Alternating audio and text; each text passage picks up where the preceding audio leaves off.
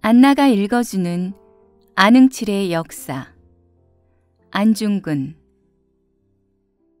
유년 시절. 1879년 음력 7월 16일 대한민국 황해도 해주의 수양산 아래에서 한 남자아이가 태어나니 성은 아니요 이름은 중근 별명은 응칠이라고 했다. 성질이 가볍고 급한 편이므로 이름을 중군이라고 하고 배와 가슴에 검은 점이 일곱 개가 있어 별명이 응칠이라고 했다고 한다. 할아버지의 성함은 안익수였다. 그분은 성품이 어질고 덕이 많은 분이었으며 살림이 넉넉해 자성가로서도 도내의 이름이 널리 알려졌다. 일찍이 진의 현감을 지냈으며 육남 삼녀를 뒀다. 여섯 아들은 장남 태진, 차남 태현, 삼남 태훈, 사남 태건, 오남 태민, 육남 태순이었다. 여섯 형제는 모두 글을 썩 잘하고 살림도 넉넉했다. 그런데 그 중에서도 셋째인 나의 아버지는 재주와 지혜가 뛰어나 여덟 아홉 살에 이미 사서삼경을 통달했고 열 서너 살 때 과거 공부와 사륙 병려체를 익혔다. 아버지께서 통감을 읽을 때 선생이 책을 펴고 글자 하나를 가리키며 물어보았다. 이 글자에서부터 열 장 뒤에 있는 글자가 무슨 글자인지 알겠느냐? 아버지께서는 마음속으로 생각하시다가 대답했다. 알 수 있습니다. 필시 천자일 것입니다. 들춰보았더니 과연 그 말대로 천자였다. 이 책을 거슬러 올라가도 알 수 있겠느냐? 그러자 아버지께서는 다시 예, 알 수 있습니다. 하고 대답했다. 이렇게 시험에 묻기를 십여 차례 했으나 바로 하거나 거꾸로 하거나 마찬가지로 전혀 착오가 없었다. 이를 보고 듣는 사람들 모두 칭송하지 않는 이가 없었고 선동이라 일컬었다. 그로부터 소문이 널리 퍼져 알려졌다. 아버지는 중년의 과거에 올라 진사가 되고 조 씨에게 장가들어 배필을 삼아 삼남 일녀를 낳으니 마지는 중근, 둘째는 정근, 셋째는 공근이었다. 아버지가 1884년 갑십년에 한성에 가서 머물 때였다. 당시 박영효 씨는 나라의 형태가 위태롭고 어지러운 것을 깊이 걱정해 정부를 혁신하고 국민들을 개명시키고자 했다. 그 일환으로 그는 준수한 청년 70여 명을 선정해 외국으로 보내 유학시키려 했는데 아버지도 거기에 뽑혔다. 그런데 슬프게도 정부의 간신배들이 사리에 맞지 않게 박 씨가 반역하려고 한다고 모함해 병정을 보내 그를 잡으려 했다. 그러자 박 씨는 일본으로 도망갔다. 그리고 그의 동지와 학생들은 사륙도 당하고 혹은 붙잡혀 멀리 귀향을 가기도 했다. 나의 아버지는 몸을 피해 달아나 고향집으로 돌아와 숨어 살면서 할아버지와 서로 의논하였다. 나라가 날로 잘못돼가니 부귀 공명은 바랄 것이 못됩니다. 그러던 중 하루는 아버지는 일찌감치 산에 들어가 살면서 구름 아래 밭이나 갈고 달밤에 고기나 낚으며 세상을 마치는 것만 못하다. 라고 말했다. 이윽고 아버지는 집안 살림을 모두 팔고 재산을 정리했다. 그리고 마차를 준비해 무려 7, 80명이나 되는 대가족을 이끌고 신청군 청계동의 산중으로 이주했다. 그곳은 지형은 험준하나 논밭이 제대로 갖추어 있고 산수 경치가 아름다워 그야말로 별유천지라 할 만했다. 그때 내 나이는 예닐곱이었다. 그곳에서 나는 할아버지와 할머니의 사랑을 받으며 한문 학교에 들어가 8, 9년 동안 겨우 보통 학문을 익혔다. 내가 14살 되던 무렵 조부께서 돌아가셨다. 나는 사랑으로 감싸주시며 길러주시던 할아버지의 정을 잊을 수 없었고 너무 슬픈 나머지 병을 얻어 심하게 앓다가 반년이 지난 후에 겨우 회복됐다. 나는 어려서부터 특히 사냥을 즐겨했다. 언제나 사냥꾼을 따라다니며 산과 들에서 사냥하며 다녔다. 차츰 장성에서는 총을 메고 산에 올라 새와 짐승들을 사냥하느라 학문에는 그다지 힘쓰지 않았다. 그래서 부모와 선생들이 나를 엄하게 꾸짖기도 했으나 끝내 복종하지 않았다. 어느 날 친한 친구 학생들이 나를 타이르며 권고했다. 너의 부친은 문장으로 세상의 이름을 떨쳤는데 너는 어째서 무식하고 하찮은 인간이 되려고 하느냐? 나는 이렇게 대꾸했다. 너희들 말도 옳다. 그러나 내 말도 좀 들어봐라. 옛날 초패왕 항우가 말하기를 글은 이름이나 적을 줄 알면 그만이다 라고 했다. 그랬는데도 만고 영웅 초패왕의 명예가 오히려 천추의 길이나마 전한다. 나도 학문을 가지고 세상에 이름을 드러내고 싶지는 않다. 초패왕도 장부고 나도 장부다.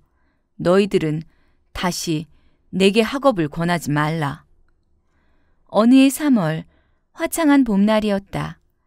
학생들과 함께 산에 올라 경치를 구경하다가 깎아지른 듯 험한 바위가 겹겹이 쌓인 절벽 위에 이르렀다.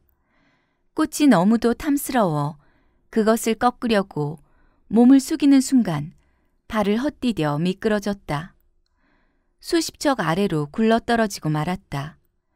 몸은 굴렀으나 정신을 가다듬어 마침 나무 한 그루가 있는 것이 보이기에 손을 내밀어 그것을 움켜쥐었다.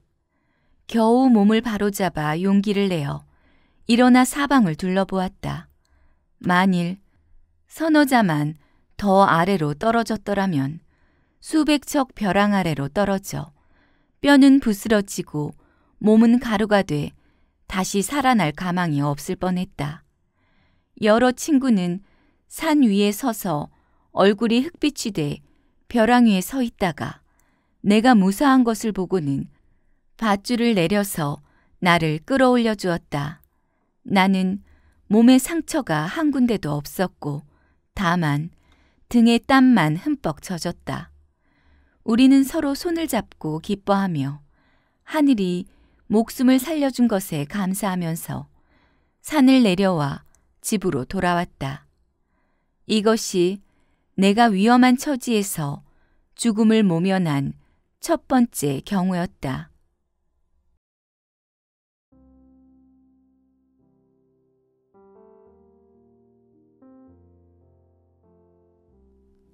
동학당 토벌 1894년 내 나이 16세에 아내 김아려에게 장가들었다. 현재 두 아들과 딸 하나를 두었다. 그 무렵 한국 각 지방에서는 이른바 동학당이 곳곳에서 벌떼처럼 일어났다. 이들은 외국인을 배척한다는 핑계로 9년을 가로질러 다니면서 관리들을 죽이고 백성의 재난을 약탈했다. 이것이 이후 우리나라를 위태롭게 한 바탕이 됐으며 일본, 청국, 러시아가 우리나라에서 전쟁하게 된 원인이 됐다. 광군은 그들을 진압할 수 없었다.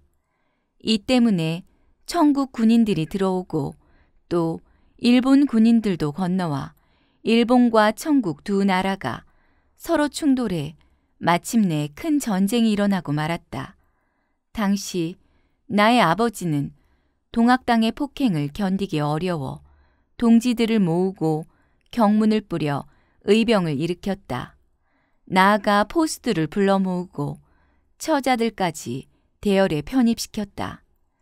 이렇게 모인 정예 병력은 70여 명이 됐으며 이들은 청계산 속에 진을 치고 동학당에 항거했다.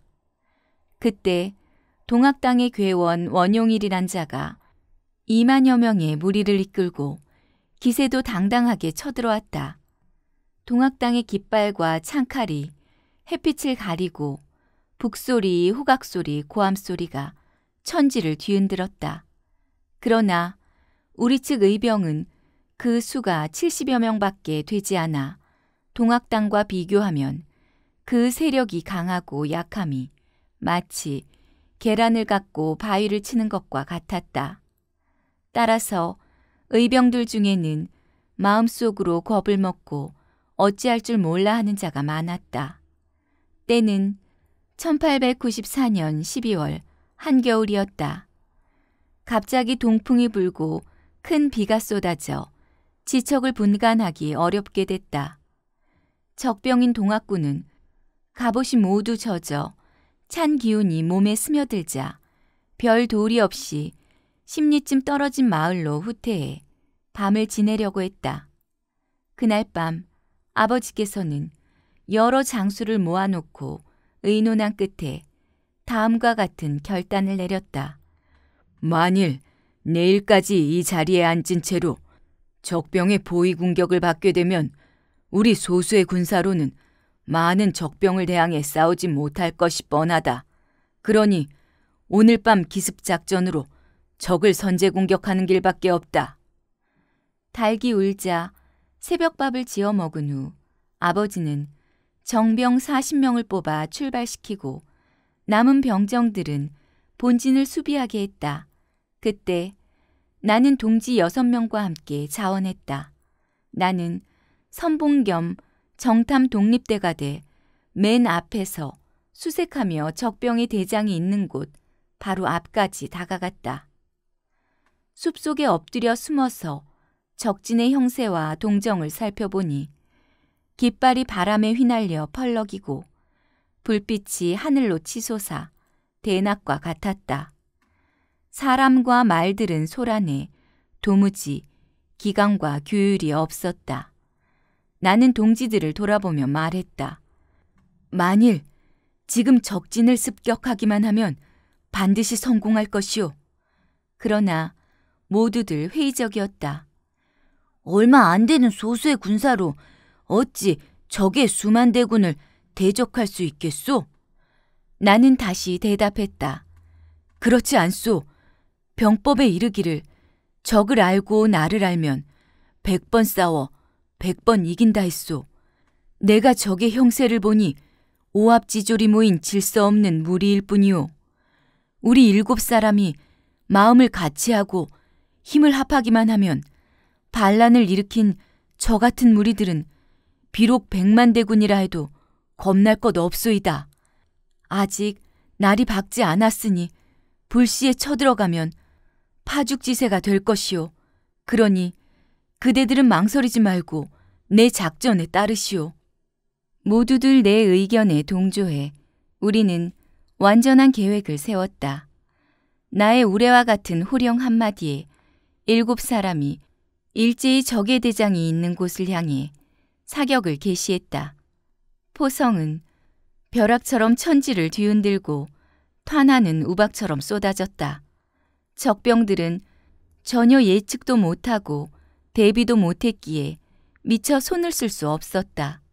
적들은 몸에 갑옷도 입지 못하고 손에 총을 들지도 못한 채 서로 밀치고 밟으며 산과 들로 흩어져 달아나므로 우리는 파죽지세로 그들을 추격했다. 이윽고 동이 텄다.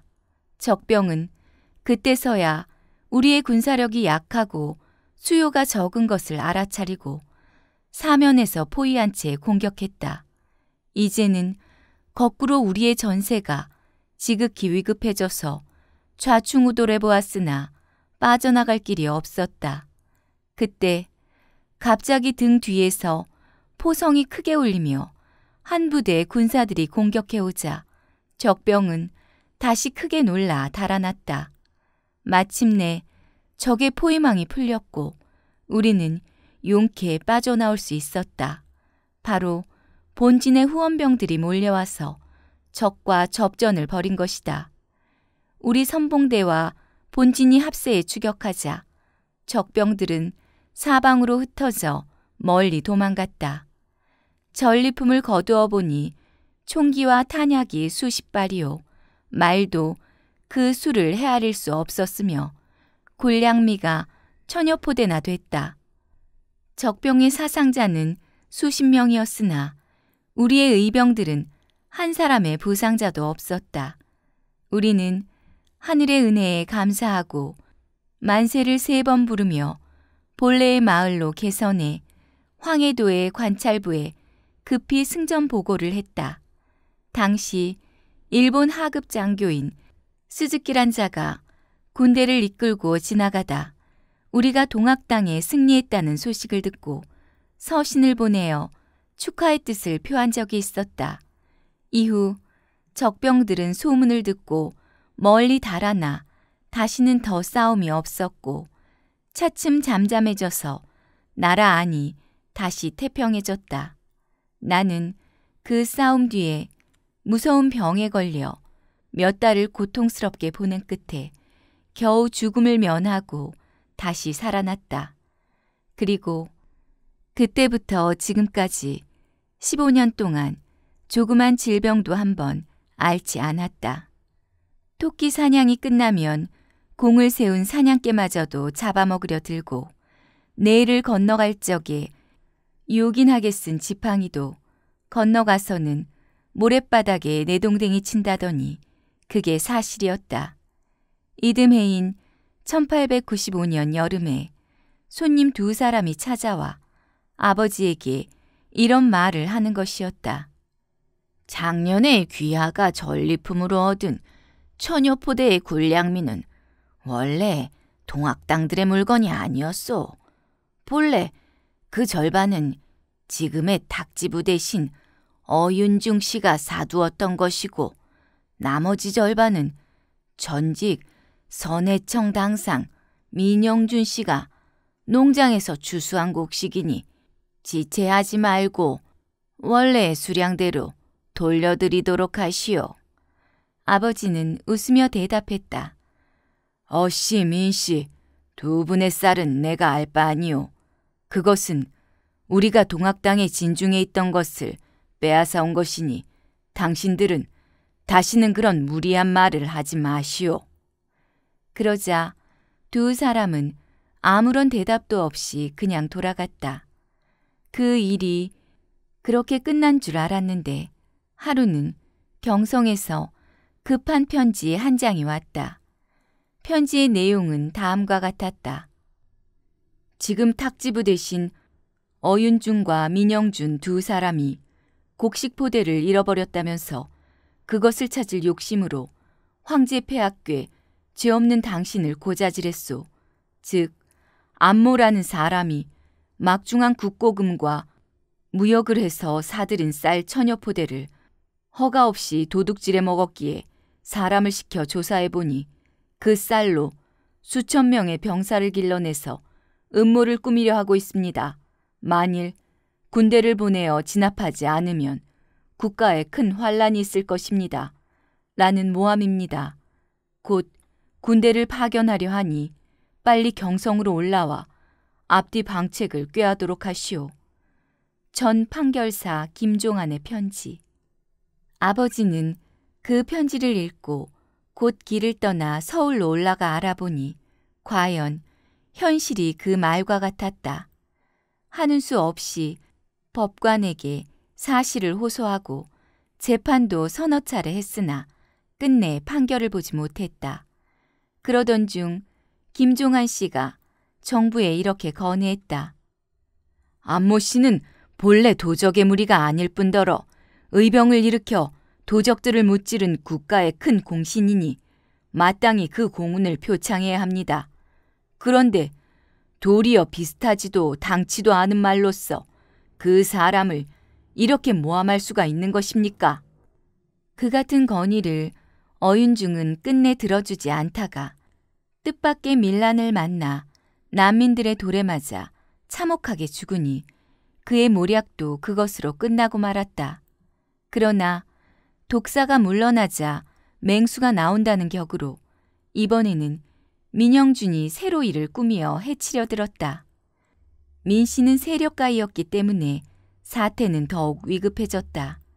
아버지는 계획을 더 이상 세우지 못하고 기력도 다해 달리 어찌할 도리가 없었다. 하는 수 없이 아버지는 프랑스 사람의 천주교 성당으로 몸을 피해 들어갔다. 그곳에 자취를 감추고 몇 달 동안 숨어 있으면서 프랑스 사람의 보호를 받고 있는 동안 민 씨의 일도 끝이 나서 아버지는 무사하게 됐다. 아버지는 성당에 오래 머물며 강론도 많이 듣고 성서도 많이 읽어 진리를 깨닫고 교인이 됐다. 그 후부터 아버지는 복음을 전파하고자 교회 안에서 해박한 지식을 가진 이보록 씨와 함께 많은 천주교 관련 서적들을 싣고 고향으로 돌아왔다. 그때 나는 17, 8세쯤에 젊은 나이였으며 힘이 세고 기골이 빼어남에 있어 남들에게 결코 뒤지지 않았다. 나는 평생 타고난 특성으로 즐겨 하던 일이 네 가지가 있었다. 첫째는 친구들과 의리를 맺는 것이요. 둘째는 술 마시고 노래하고 춤추는 것이요. 셋째는 총으로 사냥하는 것이요. 넷째는 날쌘 말을 타고 달리는 것이었다. 그래서 의협심이 있고 사나이다운 사람이 어디서 산다는 말만 들으면 멀고 가까운 것을 가리지 않고 언제나 총을 지니고 말을 달려 찾아갔다. 그래서 과연 그가 동지가 될 만한 인물이면 분통 터지는 일을 정의로운 기운을 발산하며 토론하고 유쾌하게 실컷 술을 마시고 취한 후에 노래하고 춤도 추고 혹은 기방에서 놀기도 했다. 기방에서는 기생에게 다음과 같이 야단을 치기도 했다. 너희는 뛰어난 자태와 얼굴을 가졌으니 호걸 남자와 짝을 지어 같이 늙는다면 그 얼마나 좋은 일이겠느냐.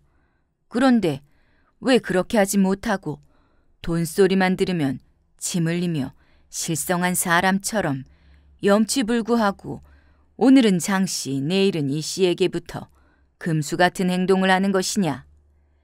계집들이 내 말을 수긍하지 않고 나를 몹시 미워하거나 공손하지 않은 태도를 보이면 나는 욕을 퍼붓기도 하고 매질도 했다. 이 때문에 친구들은 나에게 번개입이라는 별도의 호칭을 붙여주었다. 하루는 동지 6, 7명과 산에 가서 노루사냥을 하는데 공교롭게도 탄환이 구식 육연발총의 구멍에 걸려서 빼낼 수도 없었고 들이밀 수도 없게 되었다. 그래서 나는 쇠꼬챙이로 총구멍을 뚫으려고 아무런 생각 없이 마구 쑤셔댔다.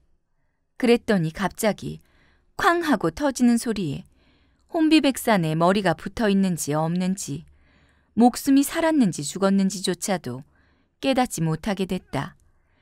이윽고 정신을 차려 자세히 살펴보니 탄환이 폭발해 쇠코챙이와 탄환이 함께 오른손을 뚫고 공중으로 날아간 것이었다. 나는 곧 병원으로 가서 치료를 받았다. 그때부터 지금까지 10년 동안 비록 꿈속에서도 그때 놀랐던 일을 생각하면 모골이 송연해진다.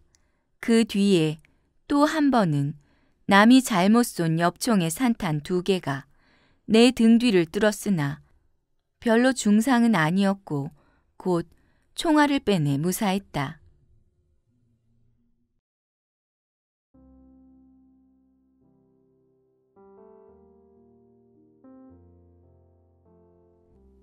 천주교 입교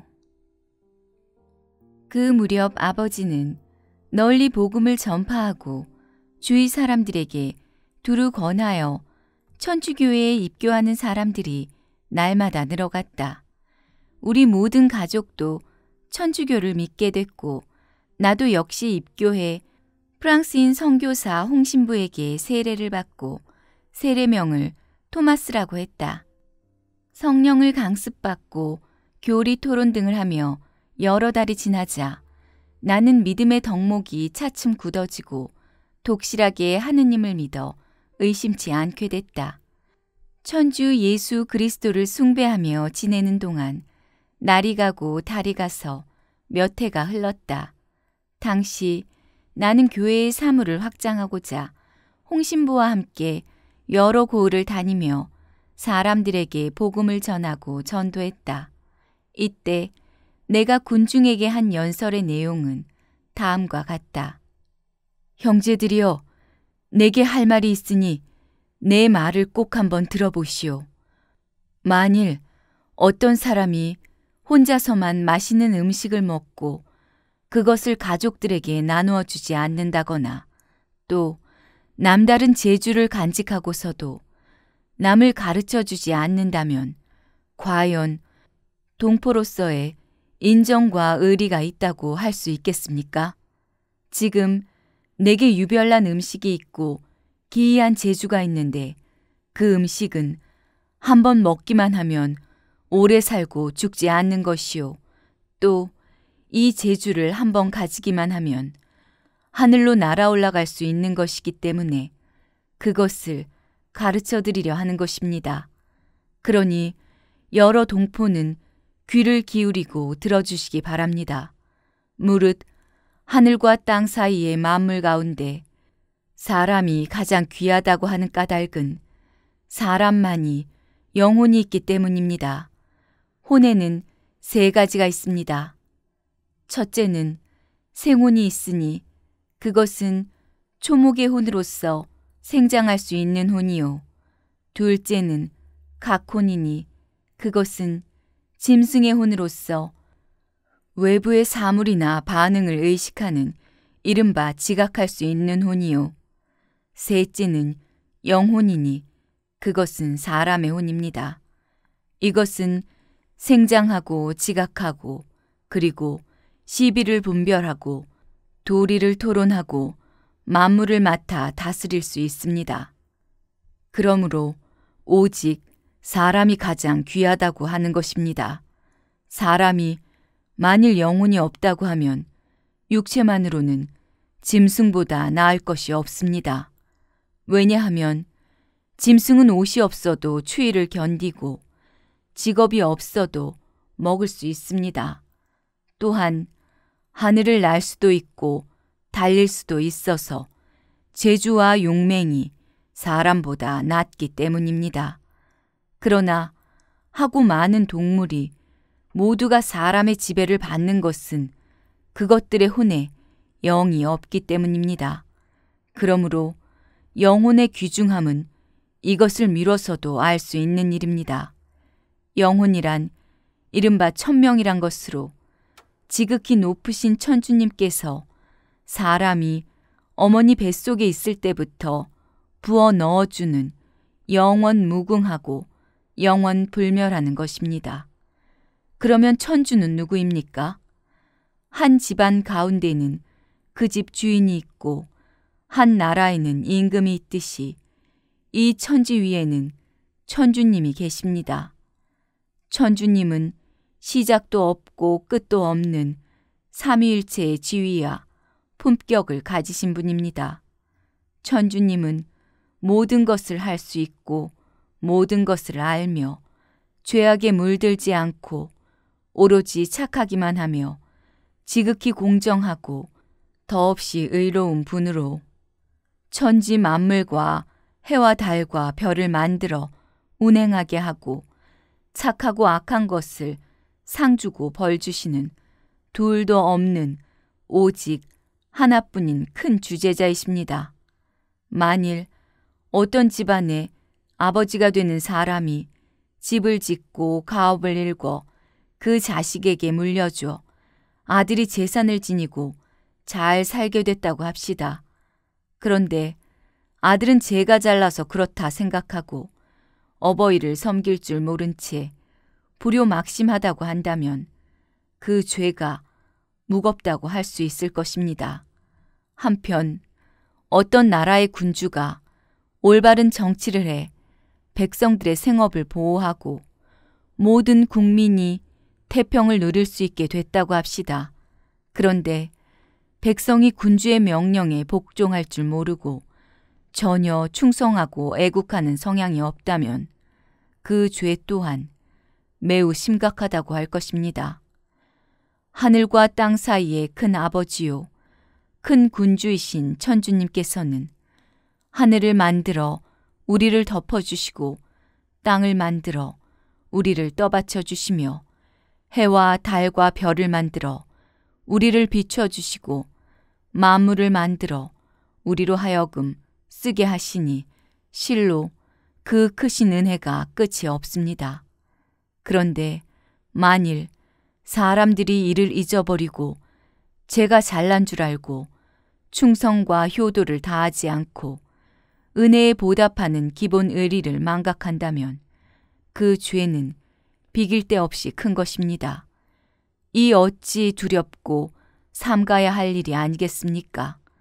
공자님도 일찍이 말씀하시지 않았습니까? 하늘의 죄를 지으면 빌 데도 없다라고 말입니다. 천주님은 지극히 공정해 착한 일에 대해 반드시 보답해 주시고 악한 일에 대해서는 반드시 벌을 내립니다. 공적과 죄가의 심판은 몸이 죽는 날 행해지는 것입니다. 착한 이는 영원히 천당에 올라가 영원 무궁한 즐거움을 받을 것이요. 악한 자는 영혼이 지옥으로 떨어져 영원히 끝없는 고통을 받게 되는 것입니다. 한 나라의 군주도 상을 주고 벌을 주는 권세를 가졌거늘 하물며 천지를 다스리는 거룩한 큰 군주이신 천주님께서 어찌 그러한 권세가 없겠습니까? 어떤 사람들은 말합니다. 왜 천주님은 오늘 우리가 사는 이 세상에서 착한 것은 상을 주고 악한 것은 벌을 주지 않느냐고 말입니다. 그러나 그것은 그렇지 않습니다. 이 세상에서 주는 상과 벌은 유한한 것이지만 선악은 무한한 것이기 때문입니다. 만일 어떤 사람이 다른 한 사람을 죽여서 시비를 가릴 때 죄가 없으면 그만이고 죄가 있다면 그 한 사람만 다스리는 것으로 족할 것입니다. 그러나 어떤 사람이 수천만 명을 죽인 죄를 지었다면 어찌 그 한 몸뚱이만 가지고 그 죄를 다 갚을 수 있겠습니까? 그리고 또 만일 어떤 사람이 수천만 명을 살린 공로가 있다고 한다면 어떻게 잠깐 스쳐 지나가는 이 세상의 부귀영화로서 그 상을 다 주었다고 할 수 있겠습니까? 더구나 사람의 마음이란 때에 따라 변하는 것이어서 지금은 착하다가도 다음에는 악한 일을 하기도 하고 혹은 오늘은 악하다가도 내일은 착해질 수도 있는 것입니다. 만일 그때마다 선하게 상벌을 주기로 한다면 이 세상에서 인류가 보존되기 어려울 것입니다. 또한 이 세상의 벌은 다만 악인의 몸을 다스릴 뿐이고 그의 마음을 다스리지는 못하지만 천주님의 상벌은 그렇지 않습니다. 천주님은 모든 것을 할 수 있고 모든 것을 알며 죄악에 물들지 않고 오로지 착하기만 하며 지극히 공정하고 더없이 의로운 분이기 때문에 사람의 목숨이 다할 때까지 너그러이 기다려 주십니다. 그러다가 사람이 세상을 떠나는 날 선악의 경중을 심판해 죽지도 않고 사라지지도 않는 영혼으로 하여금 영원 무궁한 상벌을 받게 하는 것입니다. 상은 천당의 영원한 행복이요. 벌은 지옥의 영원한 고통으로서 천당에 오르고 지옥에 떨어지는 것은 한 번 정해지면 다시 변동이 없는 것입니다. 사람의 목숨이란 길어야 백년을 넘지 못하는 것입니다. 사람은 어질고 어리석고 귀하고 천하고를 가릴 것 없이 누구나 알몸으로 이 세상에 태어났다가 알몸으로 저 세상으로 돌아갑니다. 이른바 빈손으로 왔다가 빈손으로 돌아가는 것입니다. 세상 일이라는 것이 이같이 헛된 것인 줄 알면서 사람들은 왜 허욕의 구렁텅이에서 허우적거리며 악한 일을 하고도 깨닫지 못하는 것일까요? 나중에 뉘우친들 무슨 소용이 있겠습니까? 만일 천주님의 상벌도 없고 또한 영혼도 역시 몸이 죽을 때 같이 없어진다면 잠깐 머물다가는 이 세상에서 잠깐 부귀영화를 누려볼 만도 합니다. 그러나 영혼이란 결코 죽지 않고 사라지지도 않으며 천주님이 지극히 높은 권한을 갖고 있다는 것도 불을 보는 것처럼 명확한 것입니다. 옛날 중국의 요임금은 저 흰구름을 타고 하느님이 사는 곳에 이르기만 한다면 달리 무슨 생각을 하겠는가라고 말했습니다. 우임금은 삶이란 붙어 있는 것이요. 죽음이란 돌아가는 것이다. 또한 혼은 올라가는 것이요. 넋은 내려가는 것이다. 라고 말했습니다. 이러한 말들은 모두 다 영혼은 사라지지 않는다는 뚜렷한 증거가 되는 것들입니다.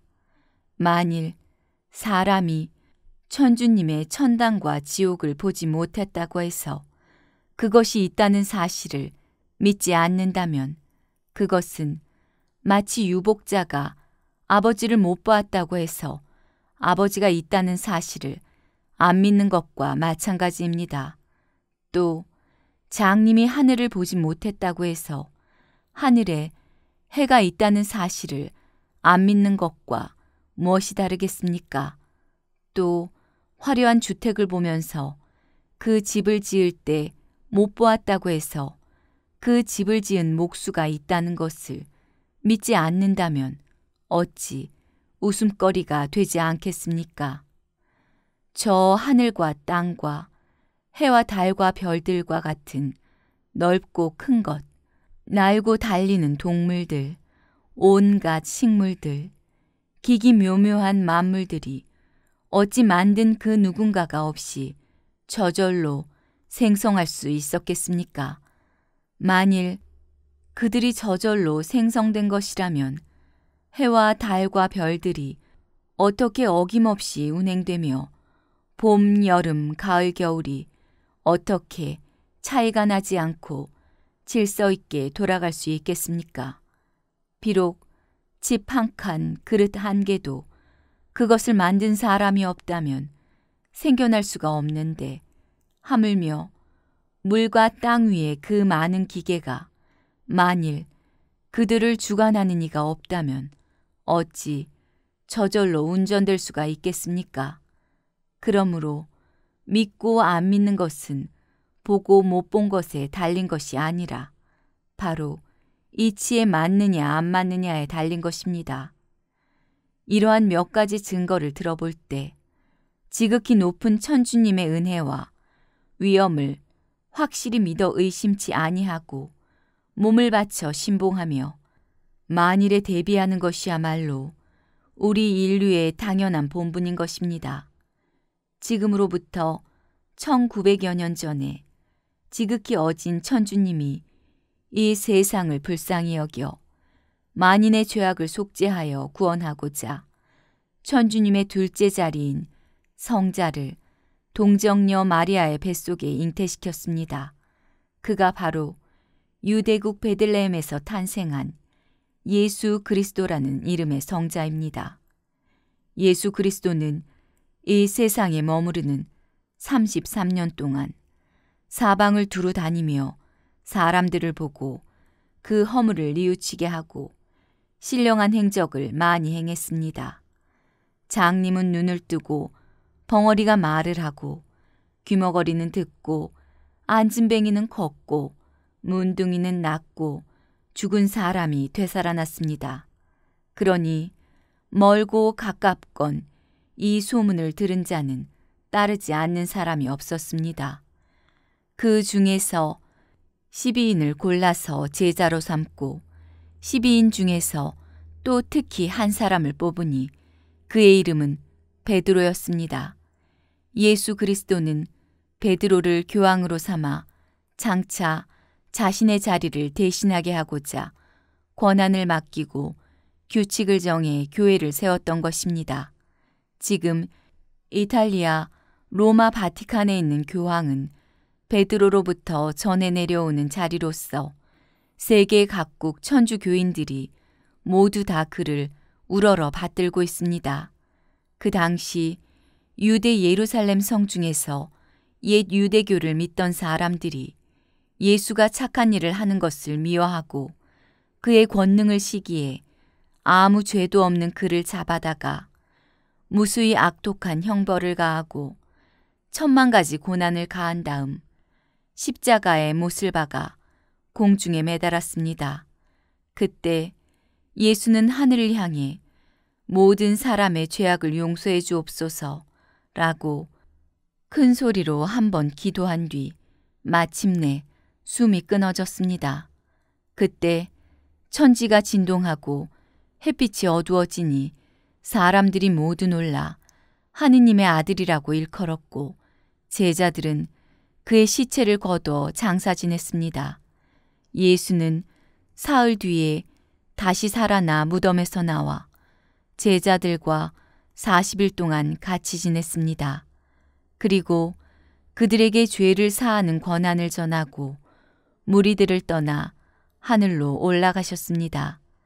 제자들은 하늘을 향해 예배하고 돌아와 세계를 두루 다니며 천주교를 전파하니 오늘에 이르기까지 거의 2천년이 되는 동안 신도들의 수가 몇 억 명인지 알 수조차 없고 천주교의 진리를 증명하고 천주님을 위해 목숨을 바치려는 사람들의 수가 몇 백만인지 알지 못합니다. 지금 세계 문명국의 지식이 뛰어난 인물들과 신사들 가운데 천주 예수 그리스도를 믿지 않는 사람이 없습니다. 그러나 지금 세상에는 위선의 종교도 대단히 많은데 예수께서도 이를 미리 제자들에게 예언해 이렇게 말한 바 있습니다. 뒷날 반드시 위선자가 나타나 내 이름으로 민중들을 감화시킨다 말할 것이니 너희들은 그런 잘못에 빠져들지 않도록 조심하라. 천국으로 들어가는 문은 다만 천주 교회의 문 하나밖에 없느니라. 바라건대 우리 대안의 모든 동포 형제 자매들은 크게 깨닫고 용기를 내어 지난날의 허물을 깊이 참회함으로써 천주님의 올바른 아들과 딸이 되기 바랍니다. 그리하여 현세를 도덕시대로 만들어 다 같이 태평을 누리다가 죽은 뒤에 천당에 올라가서 상을 받아 무궁하고 영원한 행복을 함께 누리기를 천만 번 엎드려 바라는 바입니다. 내가 이와 같이 설명했는데 듣는 사람들 가운데에는 믿는 이도 있었고 믿지 않는 이도 있었다.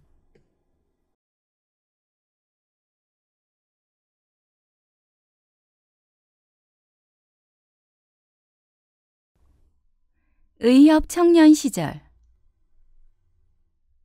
그때 우리나라의 교회는 차츰 확장돼 교인이 수만 명에 가까웠으며 선교사 여덟 분이 황해도에서 와서 머물고 있었다. 나는 당시 홍 신부에게 프랑스어를 몇 달 동안 배웠다. 그러던 중 홍 신부에게 다음과 같은 의견을 제안했다. 지금 한국 교인들이 학문에 어리석고 어두워 교리를 전도하는데 어려움이 적지 않습니다. 사정이 이러하니 국가의 장래를 말하지 않아도 짐작할 만합니다. 부디 서울의 민주교에게 말씀드려 서양의 수사화에서 박학한 몇 분을 모셔와 우리나라의 대학교를 설립한 뒤 나라 안에 재주가 뛰어난 자제들을 교육시킨다면 몇십 년이 지나지 않아 반드시 큰 효과가 있을 것입니다. 그리고 나는 계획을 세운 다음 홍신부와 함께 곧 서울로 올라가 민주교를 만나서 내 의견을 제시했다. 그러나 민주교는 이렇게 말하는 것이다. 한국인이 만일 학문을 배우게 되면 천주교를 믿는데 소홀해질 것이다. 다시는 그와 같은 의견을 제시하지 마시오. 나는 두세 번 권고해 보았지만 그는 끝내 내 말을 들어주지 않았고 하는 수 없이 나는 고향으로 돌아와야만 했다. 이러한 일을 당하고 보니 스스로 분개함을 참을 수 없어 마음속으로 맹세했다. 천주교의 진리를 믿을지언정 외국인의 마음을 믿지는 않겠다. 그렇게 결심하고 난 후 나는 프랑스어를 배우던 것을 그만두었다. 그때 어떤 친구가 프랑스어를 배우는 것을 중단한 이유를 물어보기에 다음과 같이 대답해 주었다. 일본 말을 배우는 자는 일본의 종놈이 되고 영어를 배우는 자는 영국의 종놈이 된다.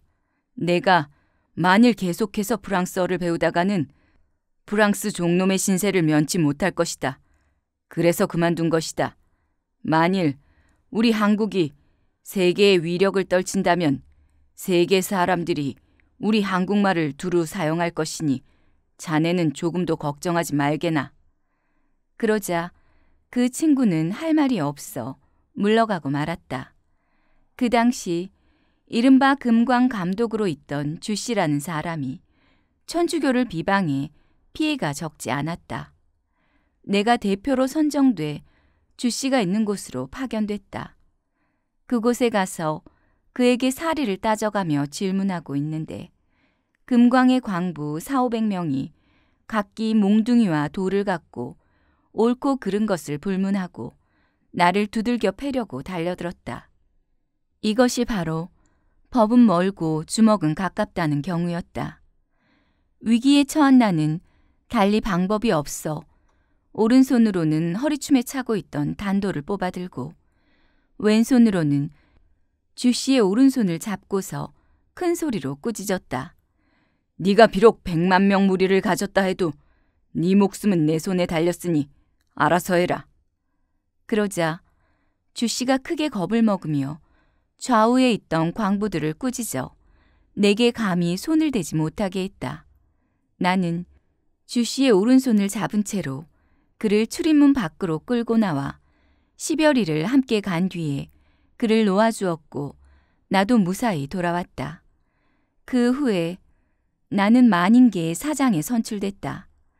당첨자를 뽑는 날 행사장 앞뒤 좌우에는 멀고 가까운 곳에서 수만 명이 참석해 인산인해를 이루었다. 당첨자를 뽑는 기계가 있는 곳은 가운데 있었고 이곳에는 여러 임원이 함께 있었다. 그곳 주변의 네 군데 문은 경찰들이 지키며 보호해 주었다. 그때 표를 뽑는 기계가 고장이 나서 한꺼번에 대여섯 개의 표가 쏟아져 나왔다. 이것을 본 수만 명이 어떻게 된 일인지 알아볼 생각도 하지 않고 사기라고 고함을 치르며 돌멩이와 몽둥이를 비오듯 날렸다. 행사장을 경비하던 경찰들은 사방으로 흩어져 달아났다. 일반 임원들 중에는 다친 사람들이 수없이 많았고 저마다 살기 위해서 도망갔다. 그러다 보니 임원들 중에 남아있는 사람은 나 혼자뿐이었다. 군중들은 사장을 쳐 죽이라고 크게 고함을 지르며 일제히 몽둥이를 휘두르고 돌을 던짐으로 사태가 위급하게 됐고 내 목숨은 경각에 달렸었다. 그 순간 나는 문득 생각해 보았다. 만일 지금 사장이란 자가 도망간다면 회사의 사무는 다시 돌이킬 여지도 없을 것이고 더구나 뒷날 명예를 다시 회복할 수 없다는 것은 말하지 않아도 능히 상상할 수 있는 일이었다. 그러나 형세가 너무도 다급한 나머지 나는 급히 주머니 속에서 12연발의 신식 총 한 자루를 꺼내 오른손에 들고 계단 위로 걸어 올라갔다. 그리고 군중을 향해 크게 외쳤다. 왜들 이러십니까? 잠깐 내 말을 들으시오. 무엇 때문에 나를 죽이려 합니까? 여러분이 사리의 옳고 그름이나 잘잘못을 따지지 않고 소란을 피우고 난동을 부리니 세상에 어찌 이 같은 야만적인 행동이 있을 수 있습니까? 여러분들은 나를 해치려고 하지만 나는 죄가 없소이다. 내가 어찌 까닭 없이 목숨을 버린단 말이오. 나는 결코 죄 없이 죽지는 않을 것이오. 만일 나와 목숨을 겨룰 자가 있으면 당당히 앞으로 나서시오. 이렇게 사람들이 납득하도록 분명하게 말하자 군중들은 모두 겁을 집어먹고 물러나 흩어지고 더 떠드는 자가 없어졌다. 그런데 그때였다. 행사장을 에워싼 수만 명의 군중 사이를 뚫고 저 뒤에서부터 나는 새처럼 질주해 오는 사람이 하나 있었다. 그는 내 앞에 다가서더니 나를 가리키며 호통을 치며 꾸짖었다. 사장이라는 자가 이렇게 수만 명을 모아놓고 어찌 사람을 죽이려는 것이오? 문득 그 사람을 보니 신체가 건강하고 기골이 빼어나며 목소리도 우렁찬 것이 과연 당대의 영웅이라고 할 만했다. 나는 단 아래로 내려가 그의 손목을 쥐고 정중하게 인사를 하며 말했다. 형님, 노여워 말고 내 말을 들어보시오. 지금 사태가 이렇게 된 것은 내 본의가 아닙니다. 일의 진행이 잘못됐던 것인데 난동을 부리는 무리들이 공연히 소란을 일으켰던 것이요. 다행히 형님이 위태로운 내 목숨을 구해주었습니다. 옛글에 이르기를 죄 없는 한 사람을 죽이면 그 재앙이 전세에까지 미치고 죄 없는 사람 하나를 살려주면 그 보이지 않는 덕의 영광이 만대에 미친다고 했소이다. 성인이라야 능히 성인을 알아보고 영웅이라야 능히 영웅과 사귈 수 있다고도 했소이다. 그러니 형님과 내가 이제부터 백년의 교분을 맺는 것이 어떻겠습니까? 그는 좋소이다. 라고 대답하고는 군중을 향해 큰 소리로 외쳤다. 여기 있는 사장은 아무 죄가 없소. 만일 사장을 해치려는 자가 있으면 내가 그 자를 한 주먹으로 때려 죽일 것이오. 말을 마친 그는 두 손으로 군중을 해치고 나갔다. 그가 지나가는 길에 있던 군중들은 마치 물결과 같이 갈라져 흩어졌다. 나는 비로소 마음을 놓고 다시 단 위로 올라가 큰 소리로 군중들을 불러 모아 안정시킨 뒤 그들이 납득할 수 있도록 설명했다. 오늘 일이 이렇게 된 것은 큰 잘못이 있어서 그렇게 된 것이 아니고 공교롭게도 기계가 고장나서 생긴 일입니다. 바라건대 여러분들이 너그럽게 용서해 주시기 바랍니다. 군중들도 모두 나의 말에 동의했다. 나는 다시 말을 이었다. 그러면 오늘 당첨 행사를 무사히 마쳐야 남의 웃음거리를 피할 것입니다. 그러니 속히 다시 진행해 끝을 내는 것이 어떻겠습니까? 그러자 군중들이 모두 손뼉을 치며 응낙하였으므로 마침내 행사를 계속해 모든 일을 무사히 끝마치고 헤어졌다. 그 다음에 그 은인과 이름을 주고받았다. 그의 성은 허시요, 이름은 봉이었고, 함경북도 사람이었다. 나는 그의 은혜에 감사한 다음 형제의 의를 맺고 술자리를 마련했는데 그는 독한 술을 백여 잔을 마시고도 전혀 취한 기색이 없었다. 또한 그의 팔힘도 시험해 보았는데 놀라웠다. 그가 기암나무 열매와 잣 수십 개를 손바닥에 올려놓고 두 손을 마주 비비니 열매와 잣이 마치 맷돌로 간 듯이 으깨어져서 가루가 됐다. 그 자리에서 이것을 본 사람들은 놀라고 감탄하지 않는 이가 없었다. 그는 또 다른 기묘한 재주도 선보였다. 두 팔을 등 뒤로 돌려 기둥을 아는 다음 밧줄로 두 손을 꽁꽁 묶여 양 어깨 사이에 기둥이 서 있게 하고 몸과 기둥이 하나가 된 상태가 됐다. 따라서 손을 묶은 밧줄을 풀지 않고는 몸이 빠져나올 수 없었다. 이렇게 해놓은 상태에서 주위의 여러 사람이 1분 동안 뒤돌아 있다가 돌아보니 두 손을 세게 묶은 밧줄은 조금도 변함없이 그대로 있는데 기둥은 두 어깨 사이에서 빠져나와 있었고 그는 묶이기 전처럼 우뚝 서 있었다. 그는 손에 밧줄을 풀지 않은 채 기둥에 걸리지 않고 몸을 빼낸 것이었다. 보는 이들이 모두가 탐복하며 말했다. 주량은 이태백보다 낫고 힘은 항우에 모자라지 않고 마술을 부리는 재주는 좌좌에 비길만 하네. 그와 며칠 동안 함께 즐기다가 서로 헤어졌는데 그 후 지금껏 몇 년 동안 그가 어디서 무엇을 하고 지내는지 듣지 못했다. 그 무렵 두 가지 사건이 있었다. 하나는 웅진군에 사는 어떤 사람이 돈 5천 냥을 경성에 사는 전참판 김중환에게 빼앗긴 사건이고 다른 하나는 이경주라는 인물에 관한 것이다. 이경주는 본적이 평안도 영유군이고 직업은 의사였다.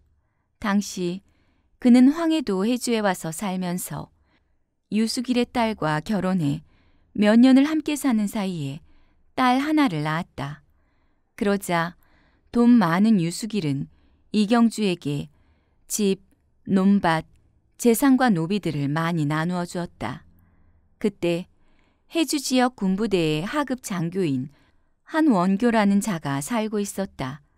그는 이경주가 상경한 틈을 타 그의 아내를 꿰어내어 간통하고 유수기를 위협해 이경주에게 준 집과 세간을 모두 빼앗은 다음 그 집에 버젓이 살고 있었다.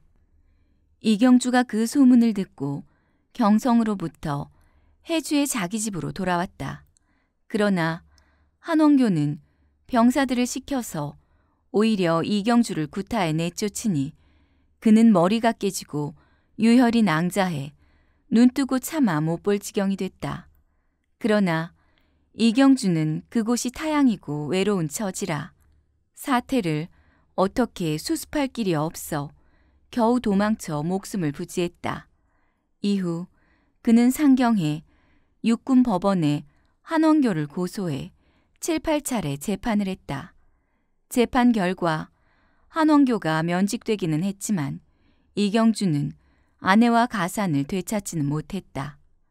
이유는 한원교가 세력이 있었기 때문이었다. 더욱이 재판 후 한원교는 이경주의 부인과 함께 해주의 집과 재산을 처분해 경성으로 이사해버렸다. 그런데 오천냥을 빼앗긴 옹진 군민이나 이경주가 모두 내가 다니던 천주교회의 사람이었다. 이 때문에 내가 이 두 가지 사건을 해결할 대표로 뽑혀 두 사람과 함께 상경해 일에 관여하게 됐다. 먼저 김중환을 찾아갔다. 그의 집에는 귀한 손님들이 방에 가득히 앉아 있었다. 나는 주인과 서로 인사를 나누고 통성명을 한 뒤 자리를 잡고 앉았다. 김중환이 먼저 물었다. 무슨 일로 찾아왔는가? 내가 대답했다. 저는 본래 시골에 사는 어리석은 백성이라 세상 규칙이나 법률을 잘 모르므로 문의하러 찾아왔습니다. 그가 다시 물었다. 무슨 일을 물으러 왔는가? 나는 다시 대답했다. 만일 경성에 있는 어떤 고관이 시골 백성의 재산 몇 천냥을 강제로 빼앗아 돌려주지 않는다면 그것은 어떤 법률로 다스릴 수가 있겠습니까? 김중환은 잠자코 한참 있다가 말했다. 그것이 나와 관계된 일인가? 그렇습니다. 어른께서는 무슨 연고로 옹진 군민의 재산 5천냥을 억지로 뺏고는 갚아주지 않는 것입니까? 내가 지금은 돈이 없어 갚을 수 없으니 나중에 갚을 계획일세. 그럴 수는 없습니다.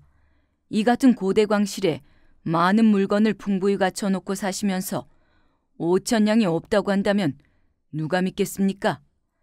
이렇게 서로 묻고 답하면서 시비를 가리고 있었는데 옆에서 듣고 있던 한 관원이 큰 소리로 나를 꾸짖으며 이렇게 말했다. 김참판께서는 고위 관리이고 그대는 나이 젊은 시골 백성인데 어디서 감히 그 같은 예의 없는 말을 하는가?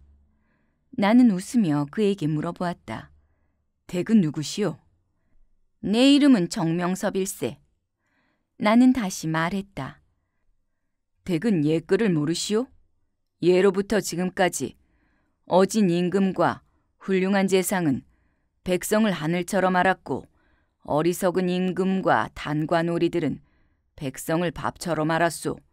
그랬기 때문에 백성이 부유하면 나라가 부강하고 백성이 약하면 나라가 약해지는 것이라오. 이처럼 어지러운 시대에 댁들은 국가를 보필하는 신하로서 임금의 거룩한 뜻을 받들지 않고 이같이 백성을 학대하니 어찌 국가의 앞날이 통탄치 아니하겠소. 하물며 지금 이 방은 재판소가 아니오. 대기 만일 오천냥을 갖고 그것으로 빚을 갚고자 한다면 나와 함께 이야기해 봅시다. 내 말을 들은 정명섭은 아무 대꾸도 하지 못했고 다시 김중환이 나섰다. 두 사람이 서로 다툴 것 없네. 내가 며칠 뒤에 오천냥을 갚아줄 테니 그대는 그리 알고 너그러이 용서하게나. 이렇게 말하며 김중환이 너댓 번이나 애걸함으로 어쩔 수 없이 갚을 날짜를 정하고 물러나왔다. 한편 그 사이에 이경주가 한원교의 주소를 알아내어 문제를 해결할 수 있게 상의하고 있었다. 한원교는 세력가이므로 법관이 불러도 무슨 핑계를 대고 도망가기 때문에 잡아다가 재판을 받게 할 수 없을 것이오. 그러니 우리가 먼저 가서 한원교와 여자를 함께 잡아 법정으로 끌고 가서 재판을 받도록 합시다. 그리고 이경주가 앞장서서 동지 몇 사람과 한원교가 사는 집으로 가서 뒤져보았으나 두 사람은 미리 눈치를 채고 피해버렸기 때문에 잡지 못하고 그냥 돌아오고 말았다. 그런데 이제 한원교가 도리어 이경주를 한성부에 고소하는 일이 벌어졌다. 이유인즉 이경주가 자기 집 앞마당까지 들어와 늙은 어머니를 구타했다는 것이었다. 그러자 한성부에서는 이경주를 잡아다가 현장 조사를 하는 자리에서 증인이 있냐고 물었다. 그러자 그는 내 이름을 대어 나도 역시 붙들려 가게 됐다. 한성부에 도착해 보니 검찰관이 바로 정명섭이었다. 정명섭은 나를 보자 얼굴에 성난 기색이 역력했다.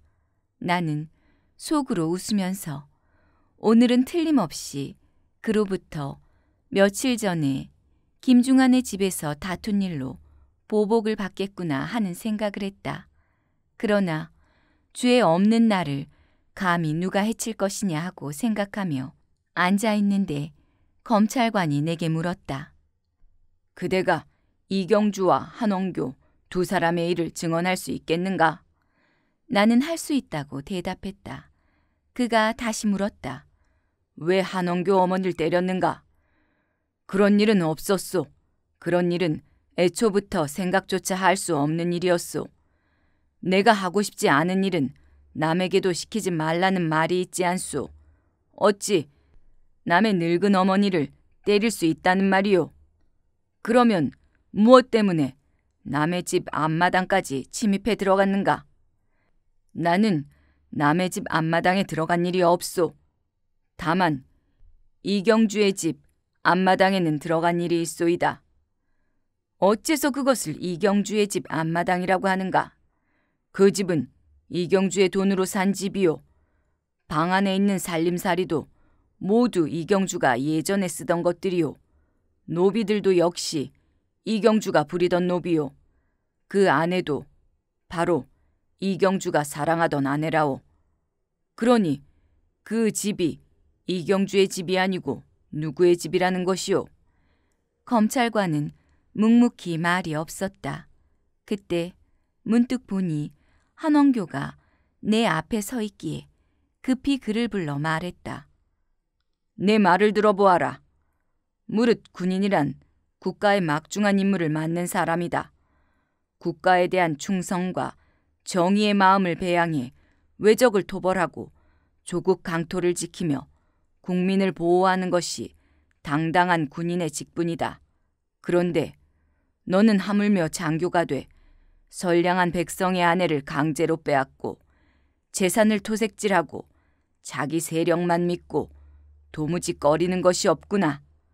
만일 경성에 너 같은 도둑놈만 산다면 경성놈들만 자식 낳고 손자 낳고 집을 보존하고 생업을 가질 것 아니냐.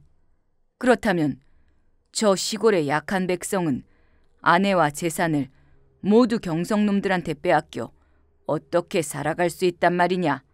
세상에 어찌 백성 없는 나라가 있단 말이냐. 너 같은 경성놈은 만 번 죽어도 아깝지 않다. 그런데 미처 내 말이 끝나기도 전에 검찰관이 책상을 치면서 큰 소리로 나를 꾸짖으며 말했다. 네가 지금 경성놈들 경성놈들 하는데 경성이 어떤 분이 사는 곳인지를 알고 그런 말을 함부로 짓거리는 것이냐? 나는 웃으며 대답했다. 댁은 무엇 때문에 그렇게 화를 내시오? 내가 말한 것은 한원교를 두고 너 같은 도둑놈이 경성에 많이 있다면 오직 경성놈들만 생명을 보전할 것이요. 시골 백성은 모두 죽을 것이라고 한 말이요. 그러니 만일 한원교 같은 놈이라면 당연히 그 욕을 받아야 하겠지만 그와 같지 않은 사람이야 무슨 상관이 있겠소. 댁이 내 말을 잘못 듣고 오해한 것이라오. 그러자 정명섭이 다시 말했다. 지금 자네가 하는 말은 잘못한 말을 정당화하려고 그럴듯한 말로 꾸며대는 것이다. 그래서 나는 다시 대꾸했다. 그렇지 않소이다. 물론 그럴듯한 말로 잘못한 말을 꾸며댈 수도 있지만 물을 가리켜 불이라 한들 누가 그것을 믿겠소. 내 말을 들은 검찰관은 더는 대꾸하지 못했다. 그러나 그는 하인을 시켜 이경주를 감옥에 가두게 한 뒤에 나를 보고 같이 가두겠다고 소리쳤다. 나는 너무도 화가 났다. 어째서 나를 가둔다는 말이오. 오늘 내가 여기 온 것은 다만 증인으로 불려온 것이지 비고로 붙들려 온 것이 아니라오. 더구나 천만 가지 조항의 법률이 있다 해도 죄 없는 사람을 잡아 가두라는 법은 없을 것이오. 또 비록 감옥이 수백 수천 칸이 된다고 해도 죄 없는 사람을 가둬두는 감옥은 없을 것이오. 오늘과 같은 문명 시대에 대기 어찌 감히 사사로이 야만스러운 법률을 적용하려 하시오. 이렇게 말을 마치고 나는 당당하게 앞을 향해서 문 밖으로 나와 여관으로 돌아왔다. 검찰관도 더는 아무런 이야기가 없었다.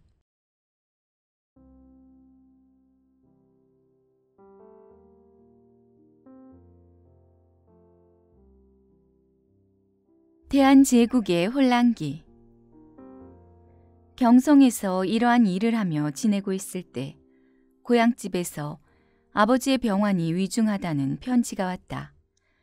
급히 돌아가고 싶은 마음이 생겨 곧장 행장을 차려 고향으로 떠났다. 마침 계절이 한겨울이라 몹시 추웠고 온 세상이 흰눈에 덮이고 하늘에서는 찬바람이 불어닥쳤다. 독립문 밖을 지나면서 돌이켜보니 가슴이 찢어지는 것만 같았다. 친구가 죄도 없이 감옥에 갇혀 풀려나지 못하고 이 추운 겨울을 차가운 감옥 안에서 고생하며 지내야 했기 때문이다. 도대체 어느 때나 돼야 저렇게 악한 정부를 단숨에 부숴버리고 개혁해 정부 내에 물란한 신하놈들과 도적질하는 놈들을 쓸어버린단 말인가. 언제 우리는 당당한 문명 독립국이 돼 국민의 자유가 확실하게 보장되는 사회를 이룰 수 있을까? 생각이 여기에 미치자 피눈물이 솟아올라 차마 발걸음을 옮길 수가 없었다. 그러나 어쩔 도리가 없었다. 하는 수 없이 죽장 망해로 혼자 천리길을 걸어 고향으로 걸어가는 도중에 마침 말을 타고 역시 고향으로 향하던 이웃 친구 이성룡을 만났다.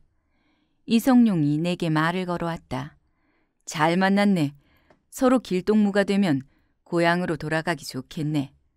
한 사람은 말을 타고 가고 한 사람은 걸어가는데 어떻게 동행이 되겠나? 그렇지 않네. 이 말은 경성에서부터 값을 치르고 세를 낸 말일세. 그런데 날씨가 추워서 말을 오래 탈 수가 없네.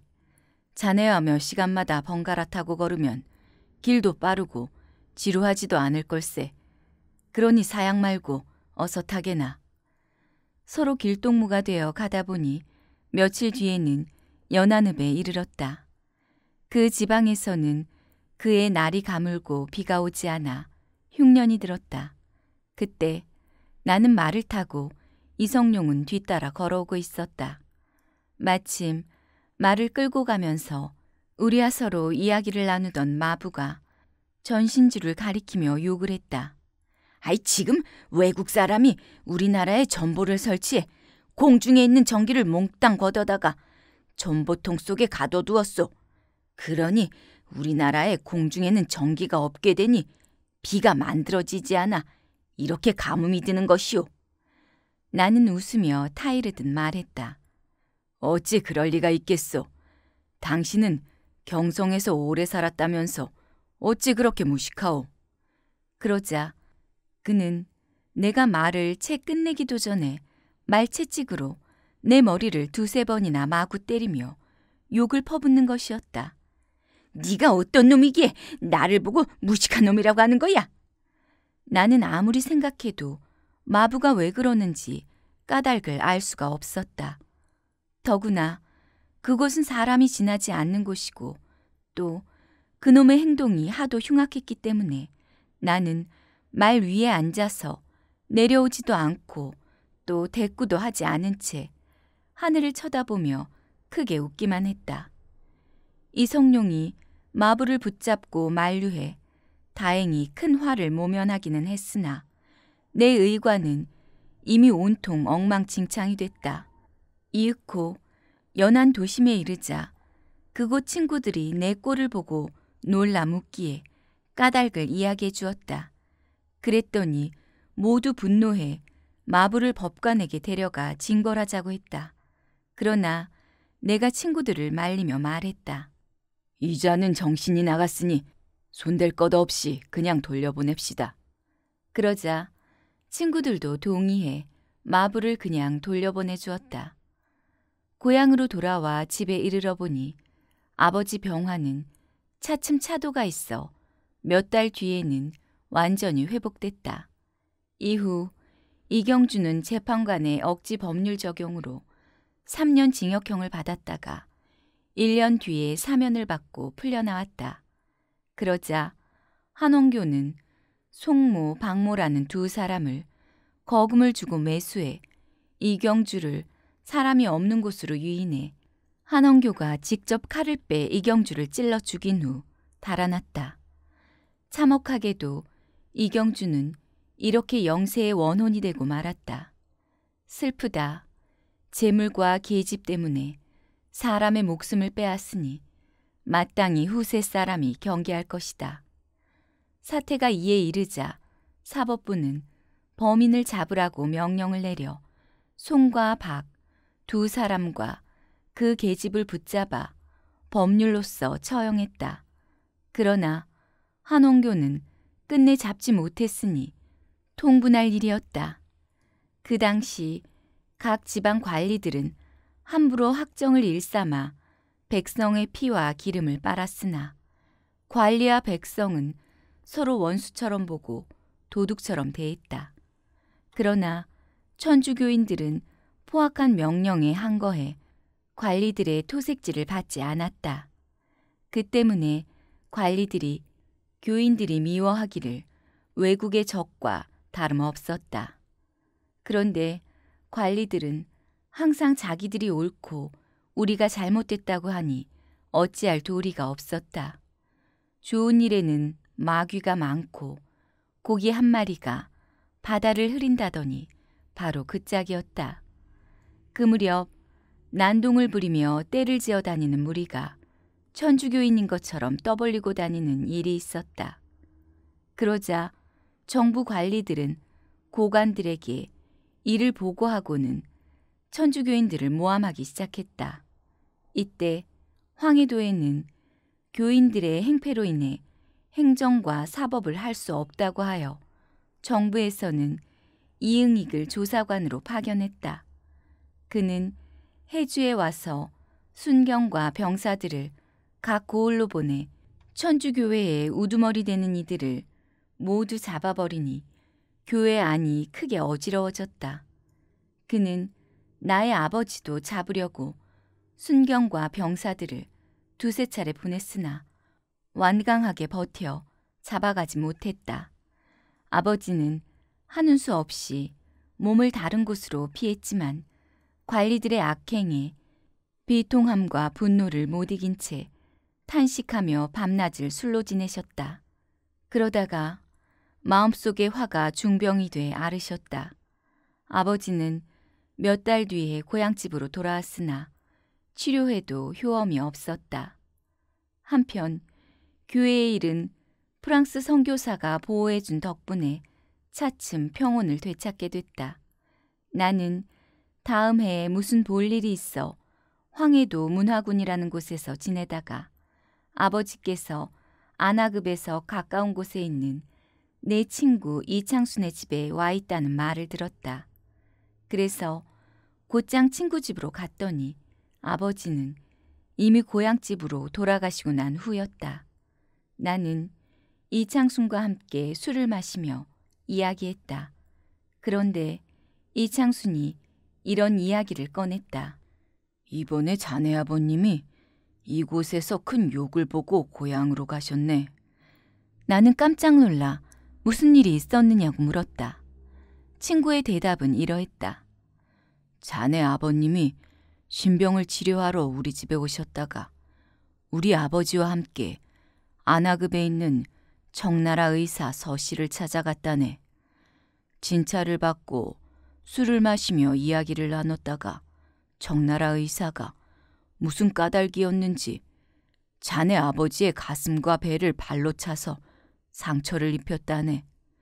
그래서 하인들이 의사를 붙들고 때리려 하자 자네 아버님이 하인들을 말리며 말씀하시기를 오늘 우리가 여기 온 것은 병을 치료하러 온 것이니 만일 의사를 때리면 옳고 그름과는 상관없이 남의 웃음거리를 면하기 어려울 것이니 명예를 생각해 잡는 것이 좋겠다고 해 모두 분함을 참고 돌아왔다네. 이에 내가 말했다. 내 아버지께서는 대인의 행동을 지켜서 그렇게 하셨지만 나는 자식된 도리로 어찌 참고 그냥 지나칠 수 있겠는가.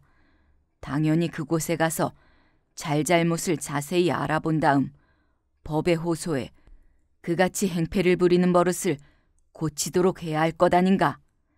그랬더니 이창순도 좋다고 해 우리 두 사람은 곧 서 씨를 찾아가 그 사실 여부를 물어보았다.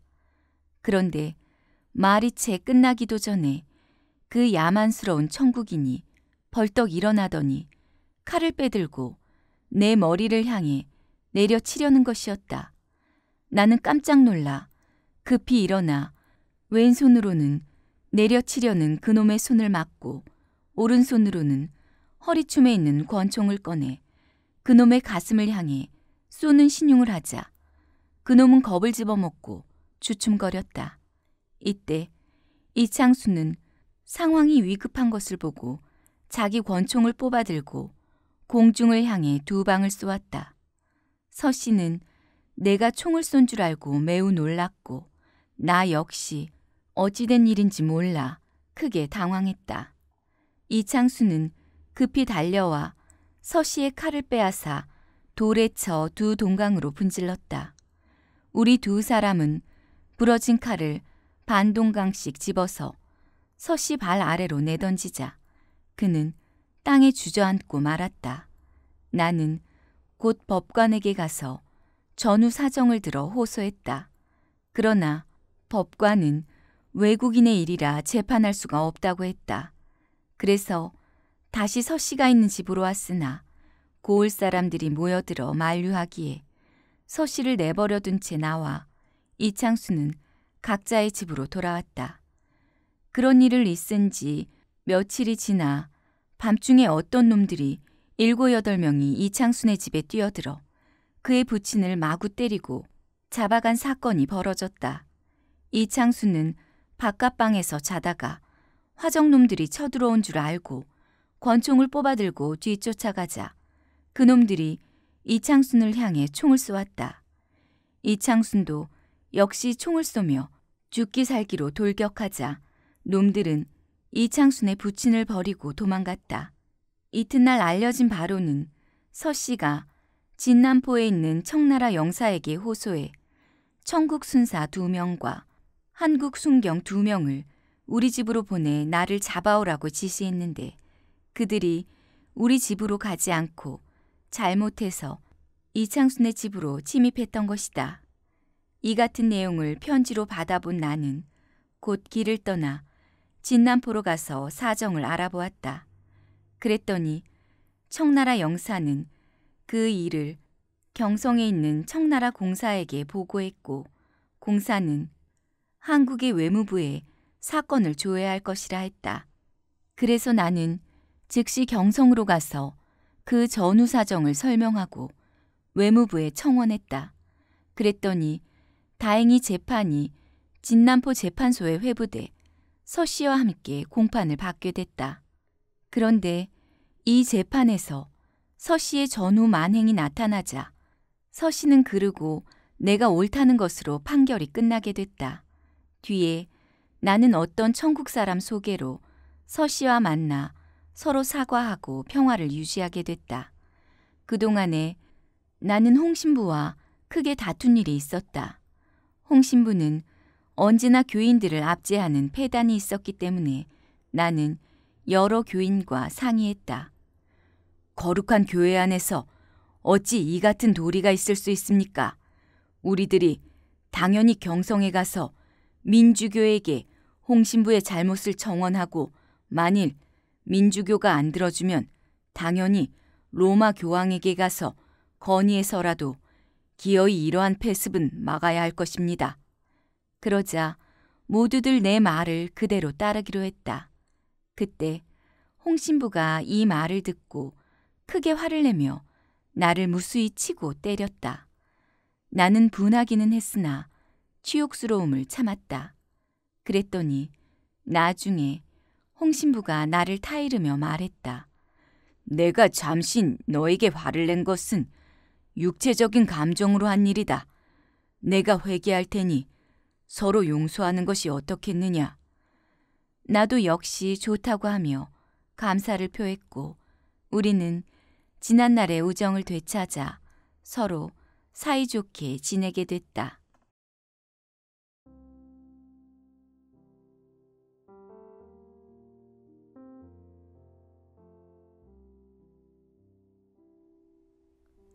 을사늑약 1904년 초 일본인은 인천항에 정박 중인 러시아 함대를 격침시킨 다음 러시아에 선전포고를 했다. 이후 두 나라가 대포 소리를 크게 울리며 싸우고 있었으므로 동양은 큰 사건의 소용돌이에 휘말리게 됐다. 해가 가고 달이 바뀌어 1905년 을사년이 됐다. 홍 신부는 한탄하면서 내게 말했다. 한국이 장차 위태롭게 되었구나. 왜 그럽니까? 라고 물었더니 그는 이렇게 말했다. 러시아가 이기면 러시아가 한국에 대한 권리를 주장하게 될 것이요. 일본이 이기면 일본이 한국을 관할하려 둘 것이니 어찌 위태롭지 않겠는가. 이때 나는 날마다 신문과 잡지와 각국의 역사를 열심히 읽고 있었기 때문에 이미 지나간 과거와 현재와 미래의 일들을 예측할 수 있었다. 러일 전쟁이 강화 조약의 체결로 끝난 후 이토 히로부미가 한국으로 건너왔다. 그는 한국 정부를 위협해 이른바 을사 5조약을 강제로 맺으니 삼천리 강상과 2천만 인심이 바늘방석에 앉은 것 같이 불안하게 됐다. 을사녹약이 맺어지자 아버지는 울분을 참지 못해 병이 더욱 위중하게 됐다. 나는 아버지와 은밀히 상의했다.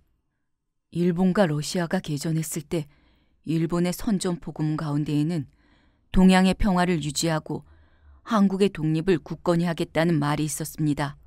그런데 이제 와서 일본이 그러한 신의를 내팽겨치고 야심적인 책략만을 지향하고 있습니다. 이 모든 것은 일본의 대정치가라는 이토의 정략입니다. 우선 강제로 조약을 맺고 다음으로 뜻있는 사람들의 모임을 없앤 뒤 강토를 삼키고 오늘의 우리나라를 망치게 하려는 것이 바로 새로운 조약입니다. 그러므로 만일 속히 계획을 세우지 않으면 큰 화를 면하기 어려울 것입니다. 그런데 어찌 속수무책으로 앉아서 죽기를 기다리겠습니까? 그러나 지금 의거를 일으켜 이토의 정책에 반대한들 우리와 일본의 힘에 큰 차이가 있으니 부질없이 죽임만 당할 뿐 아무런 이익이 없을 것입니다.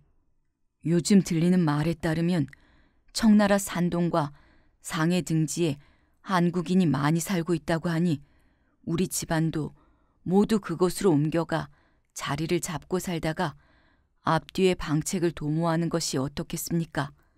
제가 먼저 그곳에 가서 살펴본 다음 돌아올 것이니 아버님께서는 그동안 은밀히 짐을 꾸린 뒤 식구들을 데리고 진남포로 가서 기다리세요. 해외에 가서 하는 일은 제가 돌아오는 날 다시 의논에 결행하는 것이 좋을 것 같습니다. 이렇게 부자 간의 계획은 정해졌다. 나는 곧 길을 떠나 산동 등 여러 곳을 두루 다녀본 뒤 상해에 이르러 민영익을 찾아갔다. 그런데 문지기 하인이 민대감은 한국인을 만나지 않는다며 문을 닫고 들여보내주지 않았다. 하는 수 없이 그날은 그냥 돌아왔다.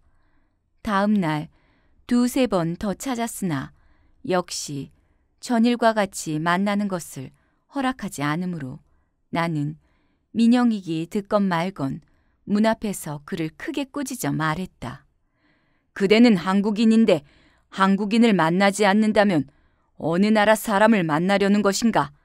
더욱이 그대는 한국에서 여러 대를 국록을 먹던 신하가 아닌가?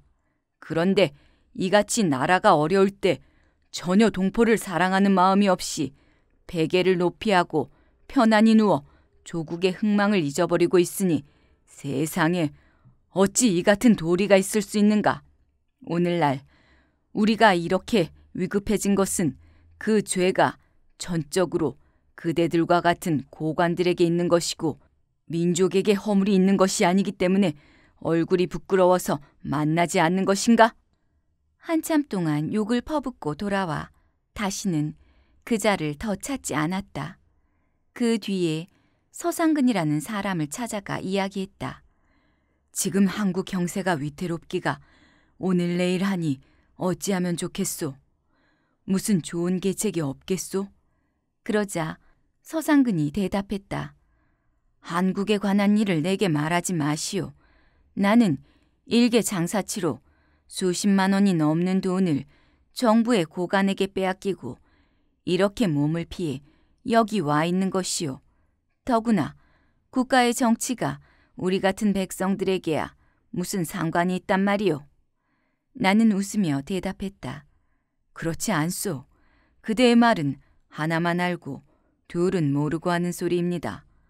만일 백성이 없다면 나라가 어디 있겠소? 더구나 국가란 몇몇 고관들의 것이 아니라 당당한 2천만 민족의 것입니다.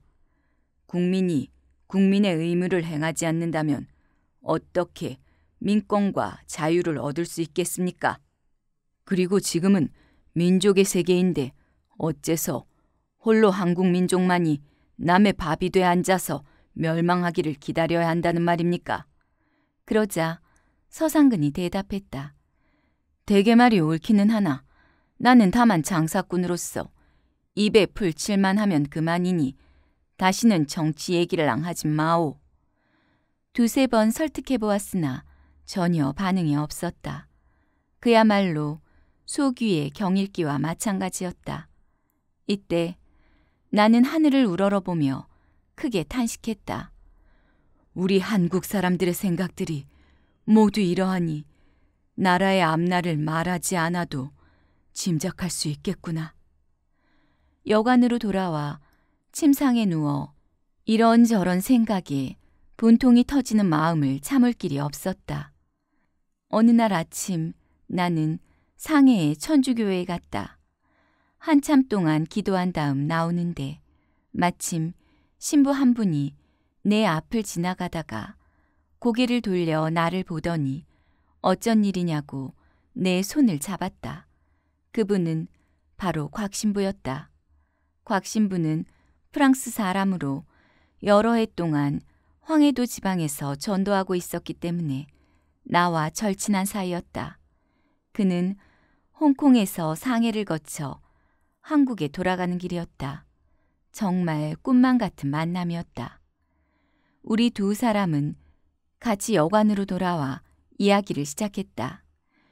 네가 무슨 일로 여기 왜 왔느냐? 곽 신부가 재차 물었다. 신부님께서는 지금 한국의 비참한 상황을 듣지 못했습니까? 나도 이미 오래 전에 들었지. 현재의 상황이 그러하니 어쩔 도리가 없이 가족들을 외국으로 옮겨 살도록 하려고 합니다. 외국에 살면서 이곳 동포들과 연락해 주변의 여러 나라를 돌아다니며 우리나라의 억울한 사정을 설명해 공감을 얻으려 합니다. 그러면서 기회를 노리고 있다가 단번에 의거를 일으키면 목적을 이룰 수 있지 않겠습니까? 그랬더니 곽 신부는 아무 말 없이 한참 있다가 대답했다. 나는 종교인이고 전도사라. 정치에 전혀 상관이 없다마는 지금 네 말을 들으니 안타까운 마음을 금할 길이 없구나. 그래서 너에게 한 가지 방법을 일러줄 테니 이치에 맞거든 그대로 시행하고 그렇지 못하거든 네 뜻대로 하도록 해라. 그 계획을 듣고 싶습니다. 네가 하는 말도 일리는 있다만 그것은 다만 하나만 알고 둘은 모르는 말이다. 가족을 외국으로 옮긴다는 것은 잘못된 계획이다. 만약 너희 나라 2천만 민족이 모두 너같이 행동한다면 나라 안은 덩 빌 것이고 그것은 바로 곧 원수가 바라는 바일 것이다. 우리 프랑스가 독일과 싸울 때 두 지역을 비워준 것을 너는 알 것이다. 지금껏 40년 동안 그 땅을 되찾을 기회가 두어 번이나 있었지만 그곳에 있던 뜻 있는 사람들이 모두 외국으로 피해갔기 때문에 그 목적을 달성치 못했다. 그러니 그것을 본보기로 삼아야 할 것이다. 또한 해외에 있는 동포들로 말하자면 그들은 국내 동포에 비해 나라 사상의 마음이 곱절은 더하니 서로 모의하지 않아도 같이 일할 수 있으니 걱정하지 않아도 될 것이다.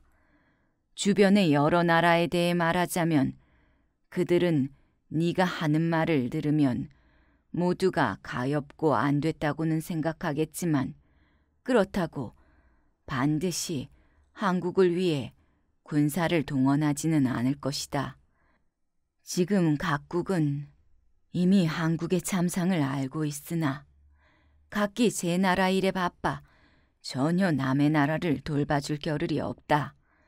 그러나 만일 훗날 때가 돼 운이 좋으면 혹시라도 일본의 불법 행위를 성토할 기회가 있을지도 모르겠다.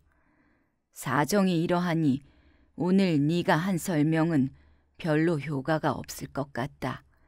옛말에 하늘은 스스로 돕는 자를 돕는다고 하지 않았느냐.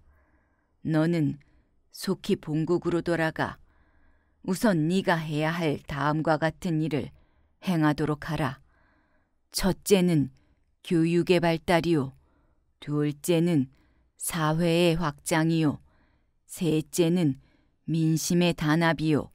넷째는 실력의 양상이다. 이 네 가지를 확실히 성취시키기만 하면 이천만의 마음의 힘이 반석과 같이 든든해져 비록 천만 문의 대포를 갖고도 능히 공격해 깨뜨릴 수가 없을 것이다. 사나이 한 사람의 마음도 빼앗기 어렵거늘 어떻게 이천만의 마음을 빼앗을 수 있단 말인가? 그렇게 하면 강토를 빼앗겼다는 것도 형식적일 것이요.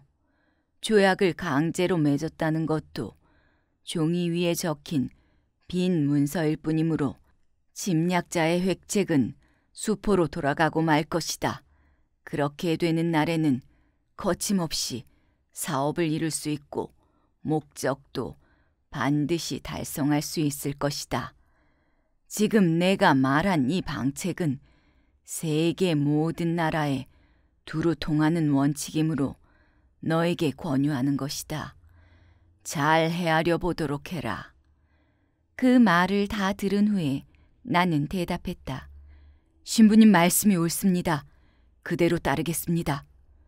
그리고 곧 행장을 꾸려 1905년 12월 상해로부터 기선을 타고 진남포로 돌아왔다. 도착하자마자 집안 소식을 알아보았다. 그동안에 가족들은 이미 청계동을 떠나 진남포로 왔었다고 한다. 그런데 아버지께서 병세가 더욱 악화돼 세상을 뜨셨기 때문에 가족들은 아버지의 영구를 모시고 청계동으로 다시 돌아가 장례를 치렀다고 했다. 나는 이 말을 듣고 통곡하며 몇 번이나 까무러쳤다. 다음 날 길을 떠나 청계동에 이르러 상청을 차려놓고 며칠간 몸과 마음을 깨끗이 해 상례를 마치고 나서 가족들과 함께 그해 겨울을 청계동에서 지냈다.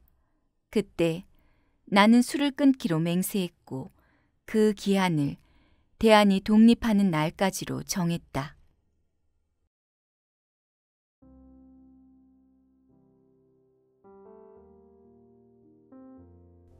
학교 설립, 인재 양성 진력. 다음 해 1906년 봄 3월 나는 가족들을 이끌고 청계동을 떠나 진남포로 이사해 살게 됐다. 그곳에 양옥 한 채를 짓고 살림을 안정시킨 뒤 나는 집의 재산을 정리해 두 곳에 학교를 세웠다. 하나는 삼흥학교요. 또 하나는 도내 학교라고 했는데 나는 학교 일을 맡아 똑똑하고 재능이 뛰어난 청년들을 교육했다.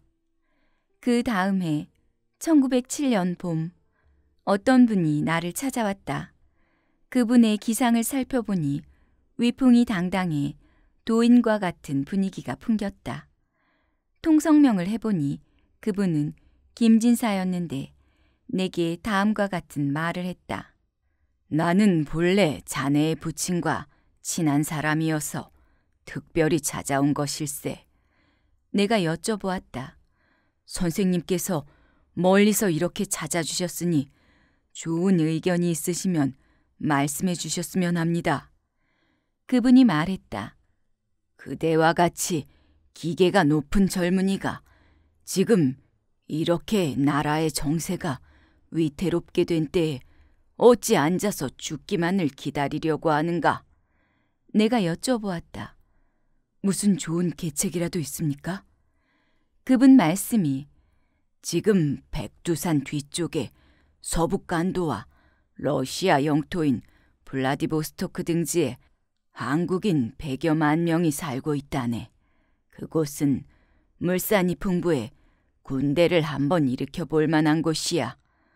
자네는 재능이 있으니 그곳에 가면 뒷날 필히 큰 일을 이룰 수 있을 것일세. 나는 말씀드렸다. 마땅히 가르쳐 주신 것을 정성껏 따르겠습니다. 말을 마치자 서로 작별 인사를 한 다음 그분은 돌아갔다. 그 무렵 나는 돈을 벌어볼 계획으로 평양에 가서 석탄광 채굴 사업을 시작했었다. 그러나 일본인의 방해로 아까운 돈을 수천 원만 손해보았다. 또한 그때 한국에서는 일반 한국인들이 일본으로부터 빌린 1300만 원 상당의 차관을 갚으려는 국제 보상 운동이 일어나고 있었다. 나는 이때 평양에서의 국제 보상 발기인 대회에 참석했다. 그런데 이 자리에 일본 경찰 한 명이 조사를 나와서 내게 물었다. 회원은 몇 명이며 재물은 얼마나 모았소? 내가 대답했다. 회원은 2천만 명이요. 재물은 1,300만 원을 모은 다음에 국채를 모두 상환하려 하오. 그러자 그 일본인이 욕을 하며 말했다. 한국인같이 하등 인간이 무슨 일을 할 수 있단 말이냐? 내가 말했다. 빚을 진 사람은 빚을 갚으면 되고 돈을 준 사람은 돈을 받으면 그만인데 무슨 이유로 그렇게 질투하고 욕질을 하는 것이냐? 그러자 그 일본인은 화를 내면서 나를 때리며 달려들었다. 나는 그에게 말했다. 이같이 이유 없이 욕을 당한다면 대한의 2천만 민족이 장차 큰 압제를 면하기 어려울 것이다. 어찌 나라의 수치를 감수하고만 있을 수 있겠느냐? 이어 나도 분노가 폭발해 서로 무수히 치고받았다. 마침 곁에 있던 사람들이 애써 뜯어말려서 싸움을 끝내고 헤어져 돌아왔다. 1907년 바로 이 해에는 이토 히로부미가 한국에 와서 강제로 칠조약을 체결하고 광무 황제를 폐했으며 대한 군대를 해산시켰다. 이때 한국에서는 2천만 국민이 일제히 분발해 곳곳에서 의병들이 벌떼처럼 일어났다. 바야흐로 삼천리 강산에 포성이 크게 진동했다. 그때 나는 긴급히 행장을 꾸려 가족들과 이별하고 북간도로 향했다. 그런데 도착해 보니 그곳에도 일본군이 방금 와서 주둔하고 있어 도무지 발붙일 곳이 없었다. 하는 수 없이 서너 달 동안 그곳의 여러 지역을 시찰했다. 그러다가 다시 북간도를 떠나 러시아 영토로 들어가 엔치아라는 곳을 거쳐 블라디보스토크에 도착했다. 그 항구 도시에는 한국인이 4, 5천 명이나 살고 있었다. 그곳에는 한인 학교가 몇 개 있었고 청년회도 있었다. 당시 나는 청년회에 가담해 임시 감찰에 뽑혔다. 그곳에는 이범윤이라는 분이 살고 있었다. 그는 러일 전쟁 전에는 북간도 관리사에 임명돼 청나라 군대와 많은 전투를 치렀으며 러일 전쟁이 시작되자 러시아군과 힘을 합해 서로 도왔다. 그러다가 러시아 장병들이 일본군의 패전에 귀환할 때 그들과 함께 러시아 영토로 들어와서 그곳에서 살고 있는 분이었다. 나는 그분을 찾아뵙고 말했다. 각하께서는 러일 전쟁 때 러시아를 도와 일본군을 공격했는데 그것은 하늘의 뜻을 어긴 일이었습니다. 그 이유는 다음과 같습니다. 그때 일본은 동양의 대의명분을 내걸었습니다. 즉, 동양 평화와 대한의 독립을 굳건히 할 의지를 갖고 이를 세계에 선언한 뒤 러시아를 공격한 것입니다. 그것은 하늘의 뜻에 순응하는 것이었기에 일본은 다행히도 크게 승리한 것입니다. 그런데 만약 지금 각하께서 다시 의병을 일으켜 일본을 공격한다면 그것 또한 하늘의 뜻에 순응하는 것이라 할 수 있습니다. 그 이유는 다음과 같습니다. 현재 이토는 그 승리에 자만해 터무니없이 자기만 잘났다고 우쭐대고 있습니다. 그리하여 눈에 보이는 것이 없습니다. 교만하고 극악해져 임금을 속이고 백성들을 함부로 죽이며 이웃 나라와의 의리를 끊고 세계의 신의를 저버리고 있습니다. 이는 하늘을 반역하는 것이라 오래 갈 수가 없습니다. 바라건대 각하께서 때를 놓치지 마시고 속히 큰일을 일으키셨으면 합니다. 그랬더니 이범유는 다음과 같이 말했다. 말인즉 옳다마는 자금이나 무기를 마련할 길이 전혀 없으니 어찌할 도리가 없지 않은가. 내가 말했다. 조국의 흥망이 아침이냐 저녁이냐 하는 위급한 지경인데 팔짱을 끼고 앉아서 기다리기만 하면 자금과 무기가 어디 하늘에서 떨어지기라도 한다는 말입니까? 하늘에 순응하고 사람의 뜻을 따르기만 한다면 무슨 어려움이 있겠습니까? 이제 각하께서 의거를 일으키기만 결심만 하시면 제가 비록 재주는 없지만 만분의 일의 힘이라도 되어드리겠습니다. 그러나 이범유는 머뭇거리며 결정을 내리지 못했다. 그곳에는 훌륭한 인물 두 분이 또 있었다. 하나는 어민섭이요. 또 한 사람은 김기룡이었다. 두 사람은 담략과 의협심이 다른 사람보다 뛰어나 나는 두 사람과 의형제를 맺었다. 어민섭이 큰형이 되고 내가 그 다음 김기룡이 셋째가 됐다. 우리 세 사람은 의리가 깊고 정이 두터웠다. 우리는 모여서 바른 일을 할 것을 계획하고 여러 지방을 두루 돌아다니며 많은 한국인을 만나 다음과 같은 연설을 했다. 비유를 하나 들겠습니다. 어느 집안에서 한 사람이 부모와 동생들과 작별하고 떠나 다른 곳에서 10여 년을 살았다고 합시다. 그동안 그는 재산이 넉넉해지고 처와 자식들이 많아졌습니다.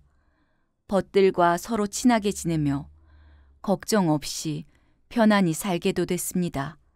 그러자 그는 고향집 부모 형제를 잊어버렸습니다. 그런데 어느 날 고향집 형제 중에서 한 사람이 와서 급히 말합니다. 최근에 집에 큰 화가 생겼어요. 다른 곳에도 강도가 들어와 부모를 내쫓고 집을 빼앗았으며 형제들을 죽이고 재산을 약탈했습니다. 이 어찌 동탄할 일이 아니겠어요. 속히 돌아가서 위급한 것을 구해주기를 간곡히 부탁드립니다. 그런데 그 사람 대답이 이렇게 말했다고 합시다. 이제 내가 여기서 살며 걱정 없이 편안한데 고향집 부모 형제가 나와 무슨 상관이냐? 그렇다면 그를 사람이라 하겠습니까? 아니면 짐승이라 하겠습니까? 곁에서 보는 사람들도 이렇게 말하지 않겠습니까? 저 사람은 고향의 부모 형제도 모르는 사람이니 친구들이야 말해서 무엇하겠는가? 그는 친구들의 배척을 받아 그들과의 의리도 끊어지고 말 것입니다. 가족도 멀어지고 친구도 끊어진 사람이 이 세상을 무슨 낯으로 살 수 있겠습니까? 동포들이여, 동포들이여, 내 말을 자세히 들어보시오. 한국을 침략해 5조약과 7조약을 강제로 맺은 다음 정권을 소나귀에 넣고 저지른 만행을 보십시오. 황제를 폐위시키고 군대를 해산하고 철도, 광산, 산림, 하천, 늪을 모조리 빼앗았습니다. 관청으로 쓰던 집과 민간의 큰 집들은 병참이라는 핑계로 모조리 빼앗아 일본인들이 살고 있습니다. 그들은 기름진 전답과 심지어는 옛 분묘들에도 군용지라는 표말을 꽂고 무덤을 파헤쳤습니다. 그들의 재앙이 우리의 백골에까지 이르렀으니 국민된 사람으로 또한 자손된 사람으로 어느 누가 분함을 참고 욕됨을 견딜 수 있겠습니까? 그래서 이천만 민족이 일제히 분발해 삼천리 강산에 의병들이 곳곳에서 일어났습니다. 그런데 애통하게도 저 강도 같은 일본은 도리어 우리를 폭도라고 부르며 군사를 풀어 토벌하고 있습니다. 이렇게 일본의 참혹한 사륙이 자행돼 두 해 동안의 해를 입은 한국인이 수십만 명에 이르렀습니다.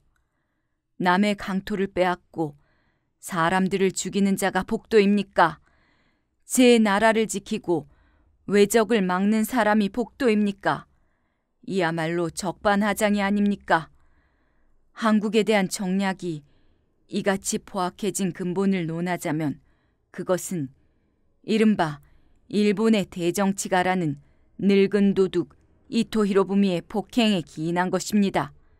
이토는 마치 한민족 2천만이 일본의 보호를 받고자 원하고 있는 것처럼 꾸며대면서 지금 우리가 태평무사하며 평화롭게 날마다 발전하는 것처럼 날조하고 있습니다. 그는 위로는 천황을 속이고 밖으로는 열광들의 눈과 귀를 가려 자기 멋대로 농간을 부리며 못하는 짓이 없습니다. 이 어찌 동분할 일이 아닙니까?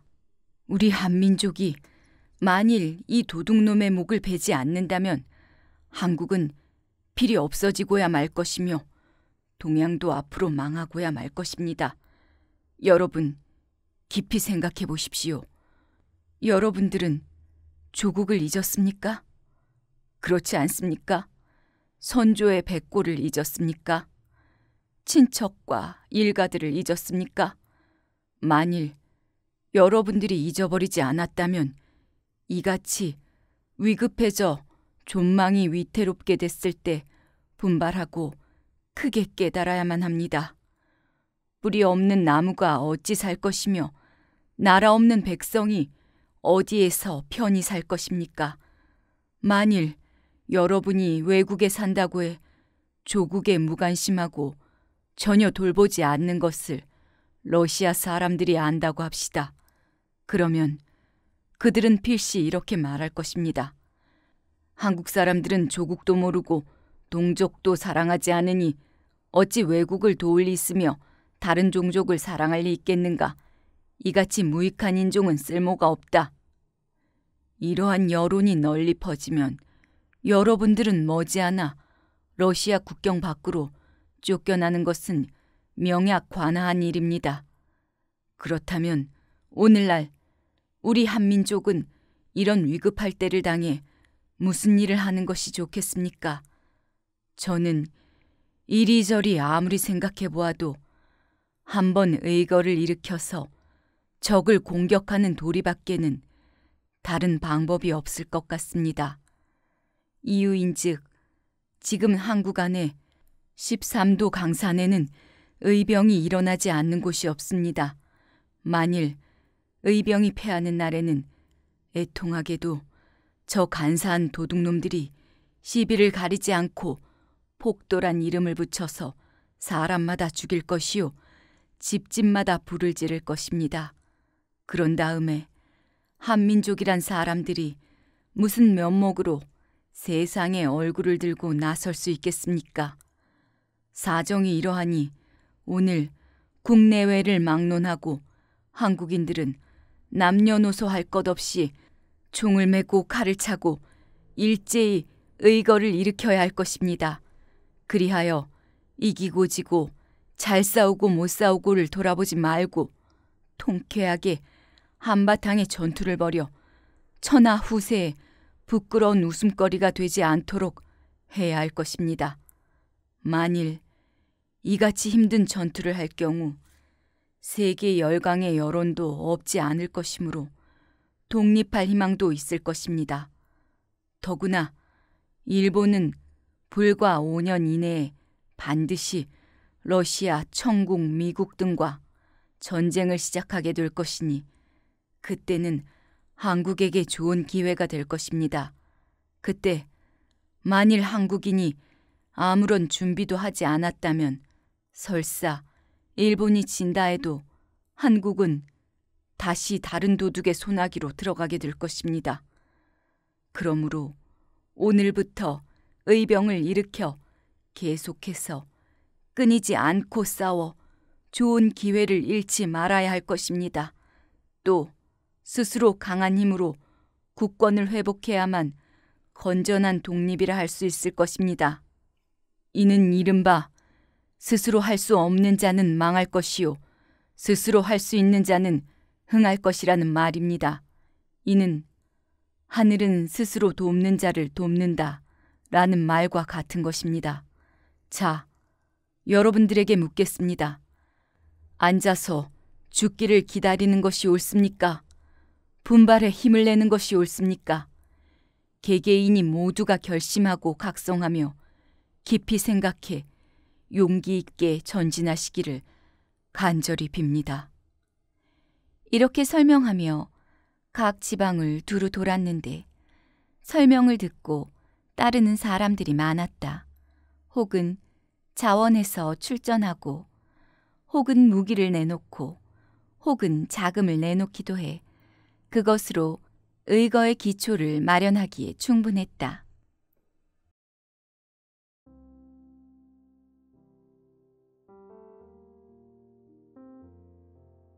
의병 활동 그때 김두성과 이범윤 등도 모두 함께 의병을 일으켰다. 그들은 이미 총독과 대장으로 피임됐고 나는 참모 중장의 직책으로 피선됐다. 나와 의병들은 무기 등을 비밀리에 수송해 두만강 근처에 모은 다음 그곳에서 큰 일을 도모하기로 했다. 당시 나는 다음과 같은 논리로 발언했다. 지금 우리의 병력은 2, 300명밖에 되지 않습니다. 적은 강하고 우리는 약하므로 적을 가벼이 여겨서는 안 됩니다. 더구나 병법에 이르기를 아무리 바쁜 중이라도 반드시 만전의 대책을 세운 다음에야 큰 일을 꾀해야만 한다고 했습니다. 우리들이 단 한 번의 의거로서 성공할 수 없다는 것은 명백한 일입니다. 첫 번에 이루지 못하면 두 번, 세 번, 열 번을 해야 하며 백 번 꺾여도 굴복하지 말아야 합니다. 만일 우리 대의 목적을 못 이루면 아들, 손자대에 가서라도 반드시 대한국의 독립을 회복한 다음에야 그만둬야 할 것입니다. 이렇게 앞날을 대비하고 뒷날을 준비하면서 꾸준히 앞으로 나가고 뒤로 물러나고 급히 나가기도 하고 천천히도 나갑시다. 우리 한민족이 이렇게 모든 것을 구비하는 한편 여러 가지 실업에도 힘쓰며 실력을 양성하면 반드시 목적을 달성할 수 있을 것입니다. 여러분의 의견은 어떠합니까? 그러나 내 말을 들은 이들의 다수가 시큰둥한 표정이었다. 왜냐하면 그곳의 분위기는 첫째, 권력이 있거나 돈 있는 사람, 둘째, 주먹 센 사람, 셋째, 관직이 높은 사람, 넷째, 나이 많은 사람을 높이 여기는데 나는 이 네 가지 조건 가운데 하나도 갖추지 못했기 때문이었다. 나는 불쾌해서 되돌아가고 싶은 마음도 있었으나 이미 내친 걸음이라 어쩔 도리가 없었다. 내가 여러 장교와 함께 부대를 이끌고 두만강을 건너 전투에 나선 때는 1908년 6월이었다. 우리는 낮에는 엎드려 숨어 있다가 밤길을 걸어 함경북도에 이르렀다.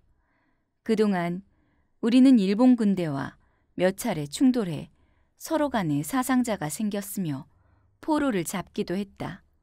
나는 포로로 잡은 일본 군인과 장사꾼들을 불러다 물어보았다. 그대들은 모두 일본국 신민들이다. 그런데 왜 천황의 거룩한 뜻을 받들지 않는가? 러일 전쟁을 시작할 때 선언서에 동양 평화를 유지하고 대한 독립을 굳건히 한다고 하지 않았느냐? 그런데 오늘날 이렇게 심약하고 약탈하려고 아우성이니 어찌 이것을 평화와 독립이라 할 수 있겠느냐? 이것은 역적이나 강도가 하는 짓이 아니냐? 일본 포로들은 눈물을 흘리며 대답했다. 우리들이 이곳에 온 것은 본심이 아니요. 부득이한 사정으로 온 것입니다. 사람이 세상에 태어나면 살기를 좋아하고 죽기를 싫어하는 것은 당연한 일입니다. 더구나 우리가 말리타양 전쟁터에서 끔찍하게도 주인 없는 원혼들이 돼버리면 어찌 원통하지 않겠습니까? 오늘 우리가 이렇게 된 것은 다른 이유 때문이 아니라 오로지 이토 히로부미의 잘못 때문입니다. 이토는 천황의 거룩한 뜻을 받들지 않고 제 마음대로 권세를 주물러서 일본과 한국 두 나라 사이에 귀중한 생명을 무수히 죽이고 있습니다. 그러나 우리로서도 어쩔 도리가 없어 사태가 이 지경에 이른 것입니다. 이들은 말을 끝내고 계속 통곡했다. 내가 말했다. 내가 그대들의 하는 말을 들으니 과연 충성스럽고 의로운 사람들이라고 생각이 든다. 그대들은 살려 보내줄 테니 돌아가거든 그런 난신 적자를 쓸어버려라. 만일 또 그 같은 간악하고 음흉한 무리들이 이유 없이 전쟁을 일으켜 동족을 괴롭히고 이웃 나라를 침해하는 여론을 조성하거든 그 자를 쫓아가 제거해 버려라. 그렇게 하면 그런 자가 10여 명이 되기 전에 동양 평화가 이루어질 것이다. 너희들은 그렇게 할 수 있겠느냐? 그들이 기뻐 날뛰며 그렇게 하겠다고 하기에 곧 풀어주었다. 그 후 장교들이 불평하며 내게 말했다. 어째서 포로로 잡은 적들을 놓아주는 것이오? 나는 이렇게 대답했다. 현재 만국 공법에 포로가 된 적병을 죽이라는 법은 없다. 어느 곳에 가뒀다가 뒷날 배상을 받고 돌려보내는 것이다. 더구나 그들이 말하는 것이 진정에 우러나오는 의로운 말이라 놓아주지 않을 수 없었다. 그러자 여럿이 말했다. 적들은 우리 의병 포로들을 잡으면 모조리 참혹하게 죽이고 있습니다. 또 우리들도 적을 죽일 목적으로 이곳에 와서 풍찬 노숙을 하고 있소이다. 그런데 그렇게 애써 생포한 놈들을 몽땅 놓아보낸다면 우리의 목적은 도대체 무엇이란 말입니까? 나는 대답해 주었다. 그렇지 않다. 절대 그렇지 않다. 적들이 그같이 폭행을 자행하는 것은 하느님과 사람을 다 함께 노하게 하는 일이다. 그런데 우리마저 저들과 같이 야만적인 행동을 해야 하는가? 또한 그대들은 일본의 4천만 인구를 모두 죽인 다음에 국권을 회복할 계획인가? 적을 알고 나를 알면 100번 싸워서 100번 이길 수 있다. 이렇게 간곡하게 타일렀다. 그러나 논의가 들끓으며 여러 사람이 복종하지 않았다. 장교들 중에는 부대를 이끌고 멀리 가버리는 사람도 있었다. 그 후 어느 날 일본 병사들이 우리를 습격했다. 충돌한 지 몇 시간이 지나는 동안 치열한 전투를 벌였다. 그 사이 날은 저물고 폭우가 쏟아져 지척을 분간하기 어려워졌다. 장병들이 이리저리 흩어져 얼마나 죽고 살았는지조차 헤아리기 어려웠다. 사태가 어쩔 도리가 없어 나는 수십 명과 함께 숲속에서 밤을 지냈다. 이튿날 6, 70명이 서로 만나 그동안의 상황을 보니 부대가 각기 흩어져 버린 것을 알 수 있었다. 병사들은 이틀이나 먹지 못해 모두 춥고 굶주린 기색이었고 제각기 살려는 생각뿐이었다. 사정이 이러하니 병사들은 복종하려 하지 않았고 기율도 지키지 않게 돼 오합지졸이 되고 말았다. 그래도 흩어진 무리들을 찾아보았다. 그런데 마침 적 복병들의 또 한 번의 공격을 받아 남은 사람들마저 흩어져 다시는 모으기가 어려워졌다.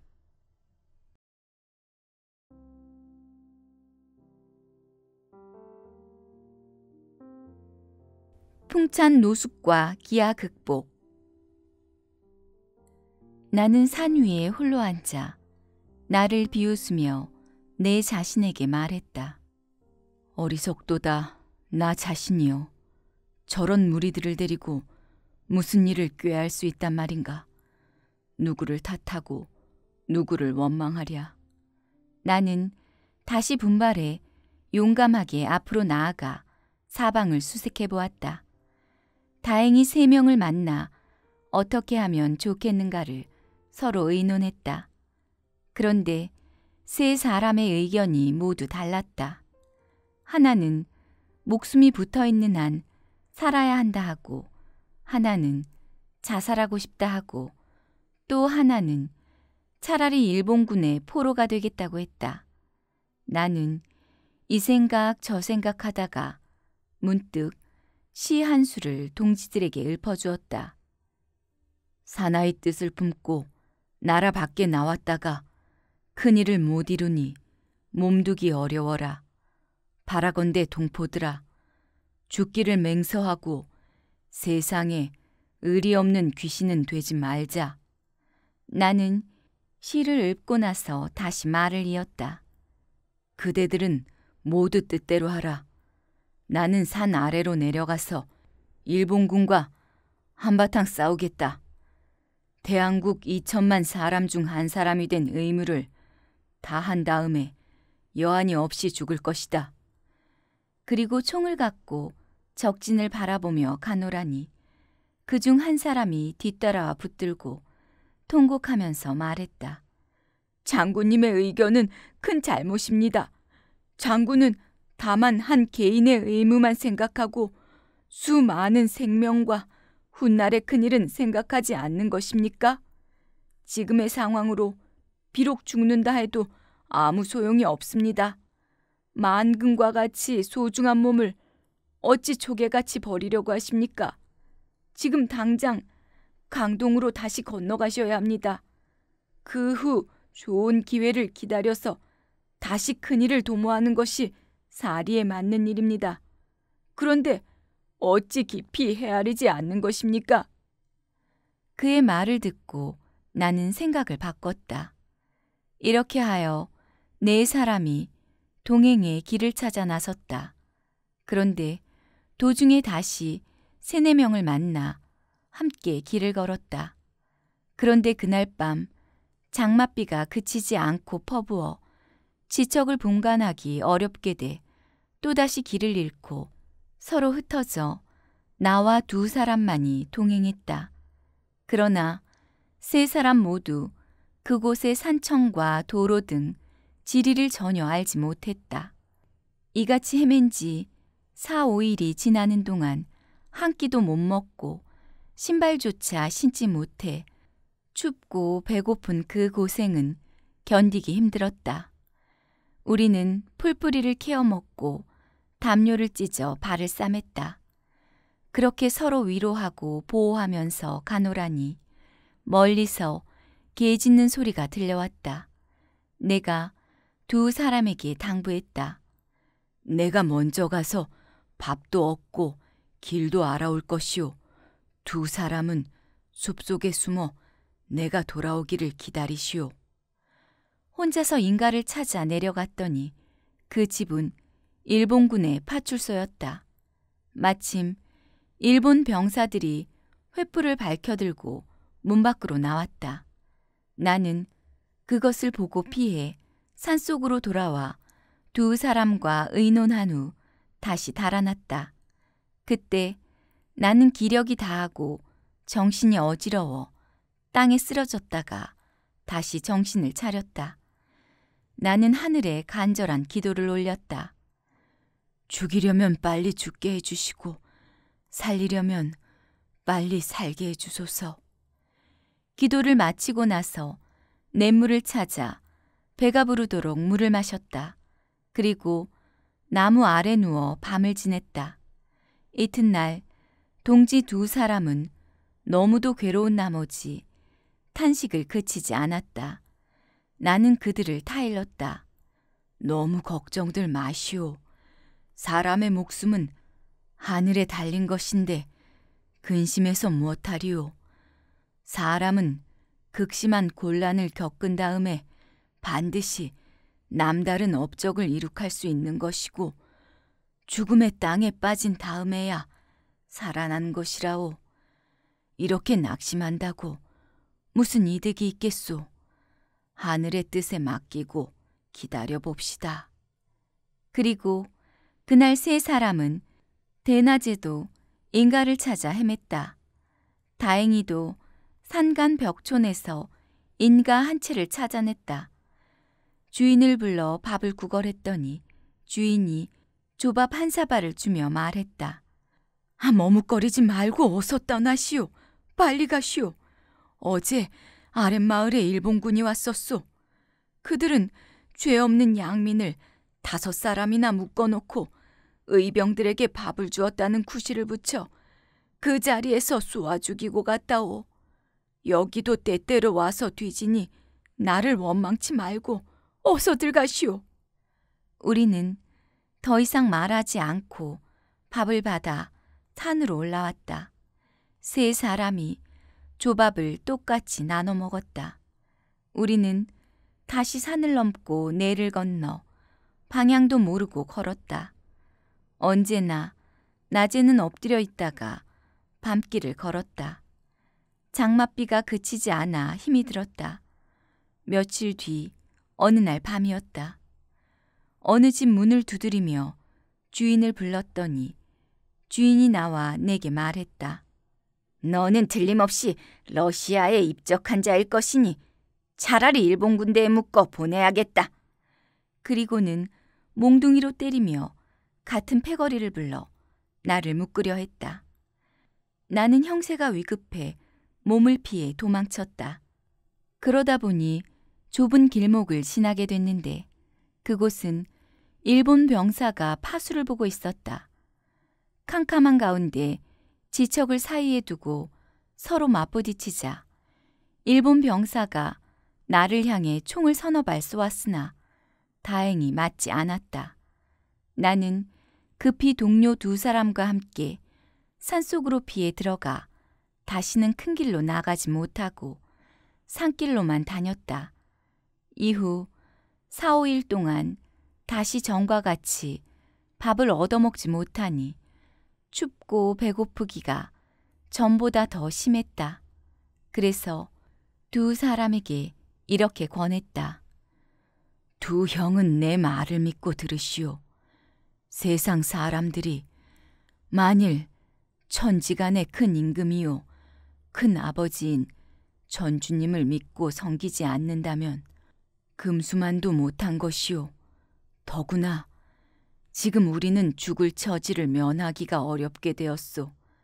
그러니 빨리 천주 예수의 진리를 믿어 영혼을 구제받아 영생을 얻는 것이 어떻겠소? 그리고 나는 천주가 만물을 창조하신 도리와 지극히 공평하고 지극히 의롭고 선악을 상벌하는 도리와 예수 그리스도가 세상에 내려와서 속죄하는 도리를 하나하나 설명했다. 두 사람은 내 말을 들은 뒤 천주를 믿겠다고 했다. 나는 곧 교회의 규칙대로 대리하여 세례를 주었다. 의례를 마치고 우리는 다시 인가를 찾았다. 다행히 깊은 산 외진 곳에 초가집 한 채를 찾아 문을 두드려 주인을 불렀다.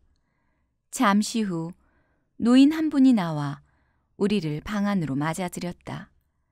인사를 마치고 밥을 달라고 요청했다. 우리의 말이 끝나자마자 그분은 곧 어린아이를 시켜서 음식을 가득 차린 상을 주었다. 염치 불구하고 한판 배부르게 먹은 뒤 정신을 차리고 돌이켜 생각해 보니 무려 12일 동안 겨우 두 끼 밥을 먹고 목숨을 부지해 여기까지 온 것이었다. 우리는 집 주인 노인에게 크게 감사드리고 그동안 겪은 고생을 자세히 설명해 드렸더니 노인은 다음과 같이 말했다. 이렇게 나라가 위급한 때를 만나 그 같은 곤란을 겪는 것은 국민의 의무라고 할 것이요. 흥겨움이 다하면 슬픔이 오고 고생이 끝나면 즐거움이 온다는 말이 있지 않소. 너무 걱정 마시오. 그런데 일본 병사들이 곳곳마다 뒤지고 있으니 길을 가기가 참으로 어려울 것이오. 그러니 꼭 내가 이르는 대로 따르시오. 노인은 어디로 해서 어디로 가면 지름길로 갈 수 있어 쉬울 것이라고 알려주었다. 그리고 두만강이 멀지 않으니 속히 건너 돌아가서 뒷날 좋은 기회를 이용해 큰 일을 도모하라고 충고해 주었다. 나는 노인의 성명을 물었으나 노인은 깊이 물을 것 없소 하고 웃으며 대답하지 않았다. 우리는 노인에게 깊이 감사하고 작별한 뒤 그의 지시대로 며칠 뒤에 세 사람 모두 무사히 두만강을 건넜다. 그제야 겨우 마음을 놓고 어떤 마을에 어느 집에 이르러 며칠 동안 편안히 쉴 수 있었다. 그곳에서 비로소 옷을 벗어 살펴보니 거의 다 썩어 몸을 가리기 어려울 지경이었고 이가 득실거려 그 수를 헤아릴 수조차 없었다. 전투에 나선 이후로부터 날짜를 헤아려 보니 벌써 한 달 반이나 지났다. 그동안 집안에서 자본 적이 없고 언제나 야외에서 밤을 지냈으며 장맛비가 쉬지 않고 퍼부었으니 그 갖가지 고초는 글로 다 적을 수가 없다.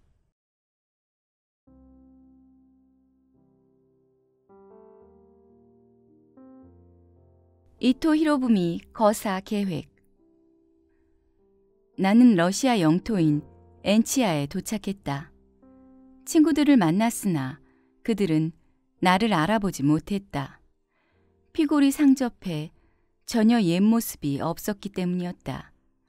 아무리 생각해 보아도 하늘이 돕지 않았다면 도저히 살아 돌아올 수 없었을 것이라 생각이 들었다. 그곳에서 10여일 묵으며 치료를 받은 후 블라디보스톡에 갔다. 그곳에서는 동포들이 환영회를 마련하고 나를 불렀으나 나는 극구 사양하면서 말했다.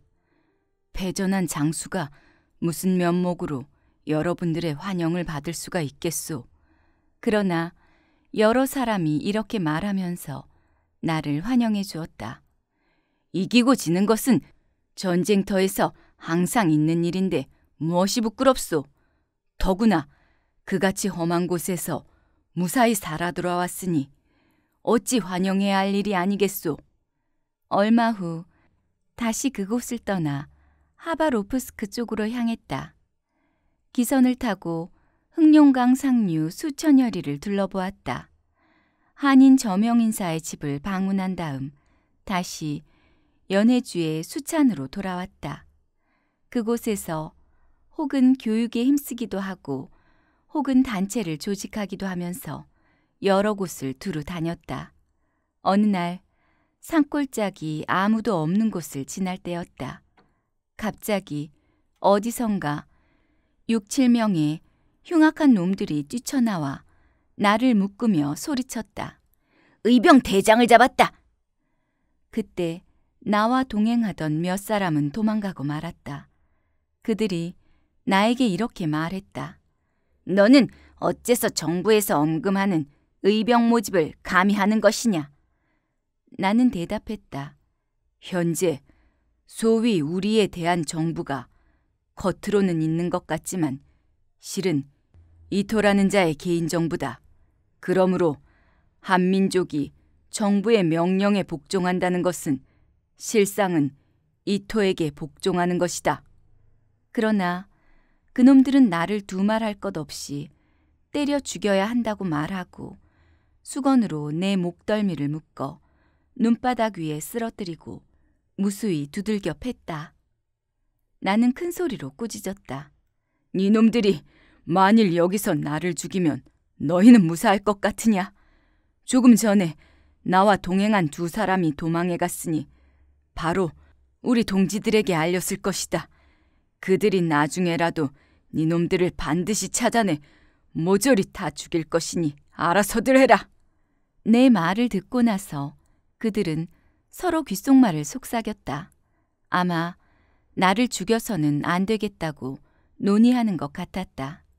이윽고 그들은 나를 이끌고 산속 어떤 초가집 안으로 들어갔다. 그러더니 어떤 놈은 나를 때리고 어떤 놈은 말렸다. 나는 좋은 말로 풀어줄 것을 여러 번 권했다. 그러나 그들은 대답은 안 하고 저희들끼리 얘기했다. 김 씨, 이 일은 처음부터 당신이 꾸민 일이니 당신 마음대로 해.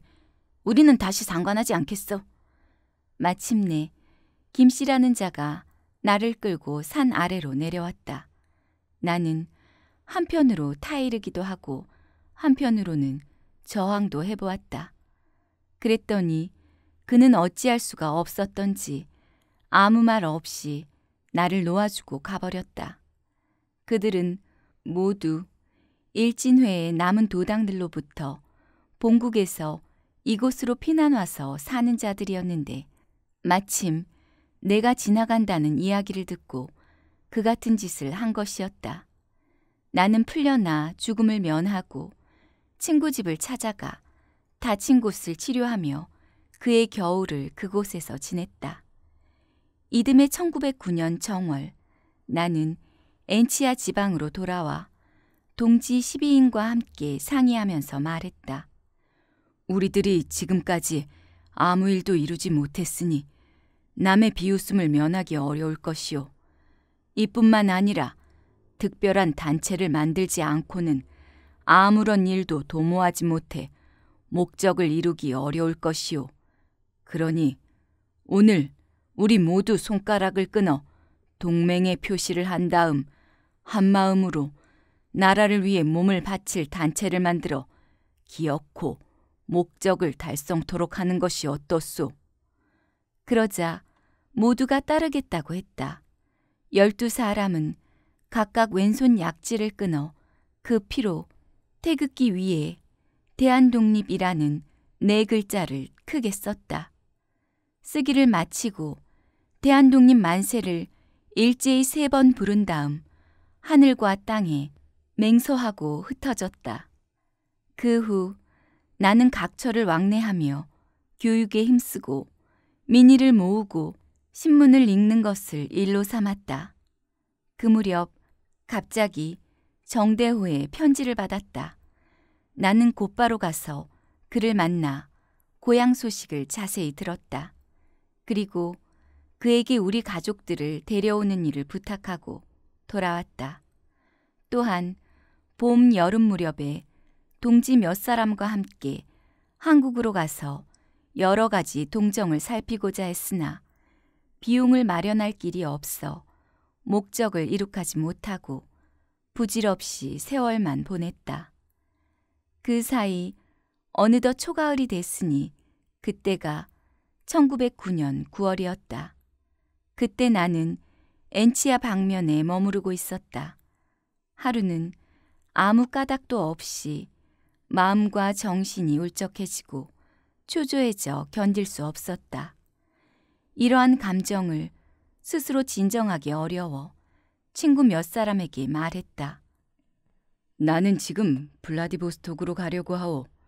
왜 그러는 것이오?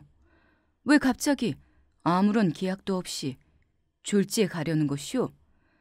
나도 그 까닭을 모르겠소. 공연히 마음의 번민이 일어 도저히 이곳에 더 머물러 있을 생각이 없소. 그래서 떠나려는 것이오. 그들이 다시 물었다. 이제 가면 언제 오는 것이오? 그래서 나는 무심코 그냥 대답했다. 다시 돌아오지 않겠소. 그들은 무척 괴이하게 생각했을 것이다. 그런데 나 역시 무의식 중에 그런 대답을 했던 것이다. 친구들과 서로 작별하고 길을 떠나 보로실로프에 도착했다. 그곳에서 기선에 올라탔다. 블라디보스토크에 이르러 들으니 이토 히로부미가 얼마 안 있어 이곳에 올 것이라는 소문이 자자했다. 그래서 자세한 내용을 알고 싶어 신문을 여러 개 사보았다. 과연 그가 며칠 후 하얼빈에 도착하기로 돼 있다는 것이 틀림없는 사실이었고 의심의 여지가 없었다. 나는 남몰래 기뻤다. 몇 년 동안 소원하던 목적을 이제야 이루게 되었구나. 늙은 도둑이 내 손에서 끝나는구나. 그러나 블라디보스토크에 온다는 말은 아직 확실하지 않은 말이요. 하얼빈에 가야만 이를 틀림없이 성공할 것 같았다. 당장 일어나 하얼빈으로 떠나고 싶었지만 자금을 마련할 길이 없어 이리저리 궁리해 보았다. 그래서 마침 이곳에 와서 사는 한국 황해도 의병장 이석산을 찾아갔다. 이석산은 그때 마침 다른 곳으로 가려고 행장을 꾸려 길을 떠나려고 문을 나서는 참이었다. 나는 급히 그를 불러 밀실로 들어가 돈 100원만 꺼달라고 청했다. 그러나 그는 끝내 들어주지 않았다.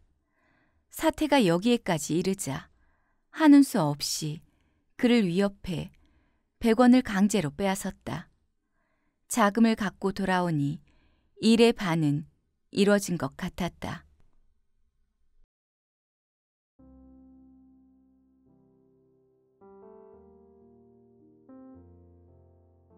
의거 1909년 음력 9월 13일 나는 아침 일찍 일어나 새 옷을 모두 벗어놓고 수수한 양복 한 벌로 갈아입었다. 그리고 권총을 지니고 바로 하얼빈역으로 나갔다. 그때가 오전 7시쯤이었다. 정거장에 이르러 보니 러시아 장관과 군인들이 많이 나와 이토를 맞을 준비를 하고 있었다. 9시쯤 되어 드디어 인산 인해를 이룬 가운데 이토가 탄 특별 열차가 도착했다. 이토가 열차에서 내렸다. 군대가 격리하고 군악대 연주 소리가 하늘을 울리며 귀를 때렸다. 나는 곧바로 군대가 늘어서 있는 뒤에까지 이르러 앞을 보았다. 러시아 일방 관리들의 호의를 받으며 맨 앞에 누린 얼굴에 흰 수염을 가진 늙은이가 걸어오고 있었다. 저것이 필히 늙은 도둑 이토일 것이다.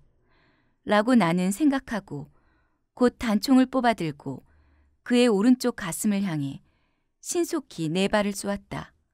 다시 뒤쪽을 향해 일본인 단체 가운데서 가장 의젓해 보이며 앞서가는 자를 향해 다시 세 발을 잇따라 쏘았다. 이때가 바로 1909년 음력 9월 13일 상호 9시 반쯤이었다. 나는 곧 하늘을 향해 큰 소리로 대한민국 만세를 세 번 부른 다음 정거장 헌병 파견대로 끌려갔다. 러시아 검찰관이 한국인 통역과 같이 와서 이름과 어느 나라 어디에 살며 어디에서 와서 왜 이토를 해쳤는가를 물었다. 나는 대강 설명해 주었는데 통역하는 한국인의 한국말을 잘 알아들을 수 없었다. 그때 사진을 찍는 자가 와서 사진을 서너 차례 찍었다. 저녁 8, 9시쯤 러시아 헌병 장교가 나를 마차에 태우고 어느 방향인지 모를 곳으로 갔다. 내가 도착한 곳은 일본 영사관이었다. 그는 나를 넘겨주고 가버렸다. 그 뒤 그곳 관리가 두 차례 신문했고 4, 5일 뒤에 미조부치 검찰관이 와서 다시 신문했다. 미조부치 검찰관이 이토 히로부미를 가해한 일에 대해 내게 물으므로 나는 이렇게 대답했다. 첫째, 한국 명성 황후를 시해한 죄요. 둘째, 한국 황제를 폐위시킨 죄요. 셋째, 5조약과 7조약을 강제로 체결한 죄요. 넷째, 무고한 한국인을 학살한 죄요. 다섯째, 정권을 강제로 빼앗은 죄요. 여섯째, 철도, 광산, 산림, 하천 등을 마음대로 빼앗은 죄요. 일곱째, 제1은행권 지폐를 발행, 마음대로 사용한 죄요. 여덟째, 군대를 해산시킨 죄요.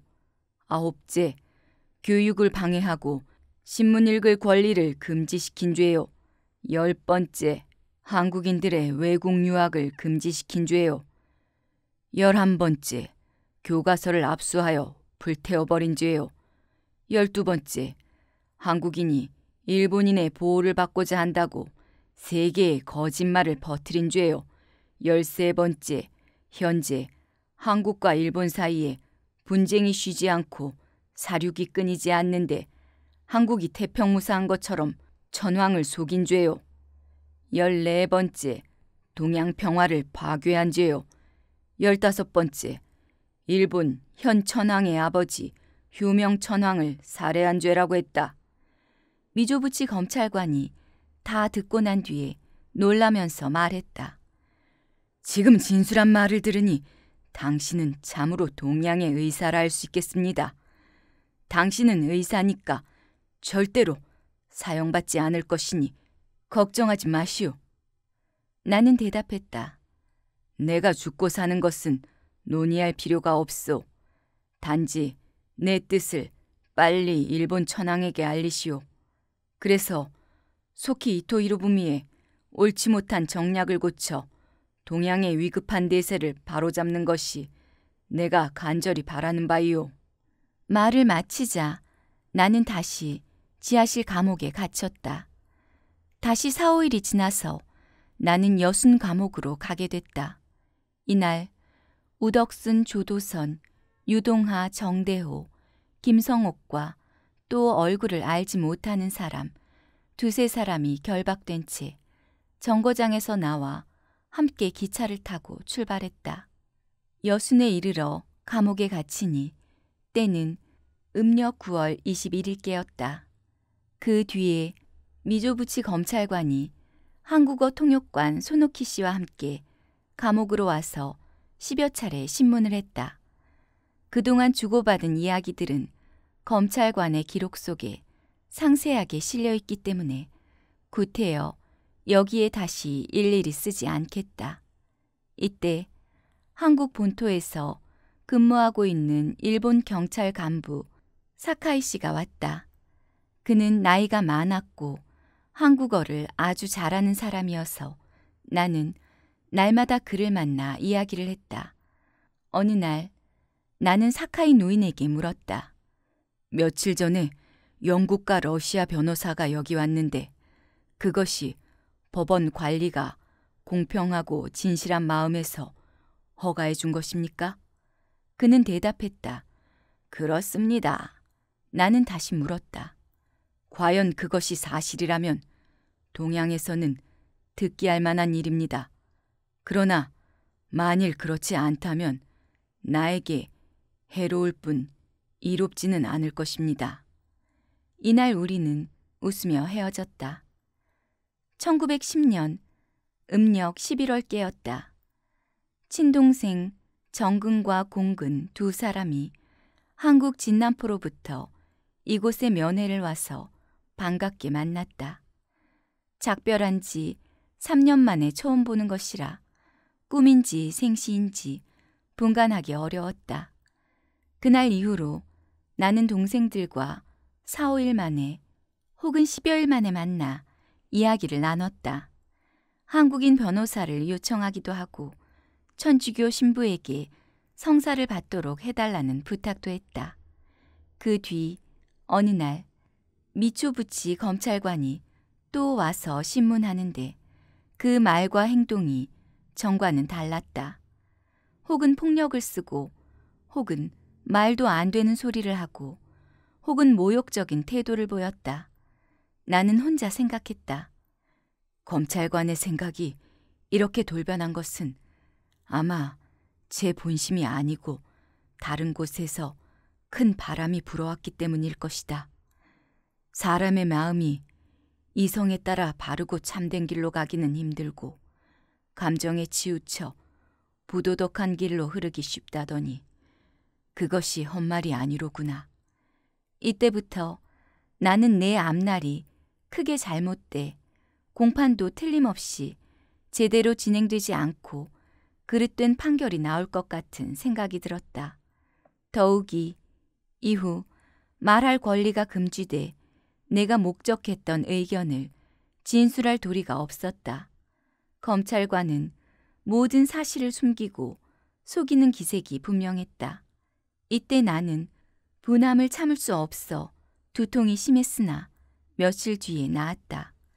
그 후 한 달가량은 무사하게 지나가는가 했는데 또다시 이상한 일이 일어났다. 하루는 검찰관이 내게 말했다. 공판 일이 이미 6, 7일 뒤로 정해졌소. 그런데 영국 변호사나 러시아 변호사는 허가되지 않고 이곳에 있는 관선 변호사가 선임됐소. 나는 혼자 생각했다. 전에는 내게 유리하거나 중간 정도의 판결이 날 것으로 희망했는데 그것은 지나친 기대였구나. 이제는 불리한 판결이 나겠구나. 그 뒤 공판 첫날이 돼 법원 공판석에 앉았다. 정대호, 김성옥 등 다섯 사람은 이미 무사히 풀려 돌아갔고 우덕순, 조도순, 유동하 세 사람은 나와 함께 피고로 출석하게 됐다. 방청인도 수백 명이었다. 한국인 변호사 안병찬 씨와 전에 허가를 받았던 영국인 변호사가 참석했으나 변호권을 얻지 못했다만 방청할 따름이었다. 재판관이 출석하자 검찰관이 신문한 문서에 의해 대강의 경위를 물었다. 그런데 도중에 내가 자세한 의견을 진술하려 하면 재판관은 그저 회피하기에 급급하며 내게 말할 기회를 주지 않아 내 의견을 설명할 도리가 없었다. 나는 이미 그 까닭을 알기 때문에 기회를 봐 몇 가지 목적을 설명하려 했다. 그랬더니 재판관은 크게 놀라 자리에서 일어나 즉시 방청을 금지시키고 다른 방으로 물러갔다. 그러더니 조금 뒤에 재판관이 다시 출석해 내게 다시는 그 같은 말을 하지 말라고 했다. 오늘 내가 이렇게 당하는 것이 꿈인가 현실인가? 나는 당당한 대한민국의 국민인데 어째서 오늘 일본 감옥에 갇혀 있는가? 더구나 내가 일본 법률에 따라 재판을 받아야만 하는 이유가 무엇인가? 내가 언제 일본에 귀화라도 했단 말인가? 판사도 일본인, 검사도 일본인, 변호사도 일본인, 통역관도 일본인, 방청인도 일본인이 아닌가? 이것이야말로 벙어리가 연설하고 귀머거리가 방청하는 것이 아닌가? 내가 진정 꿈을 꾸고 있는 것인가? 꿈이라면 어서 깨어나라. 어서 빨리 깨어나라. 이러한 지경이 되니 설명이고 무엇이고 다 필요가 없었다. 아무런 말도 소용이 없었다. 그래서 나는 웃으며 대답했다.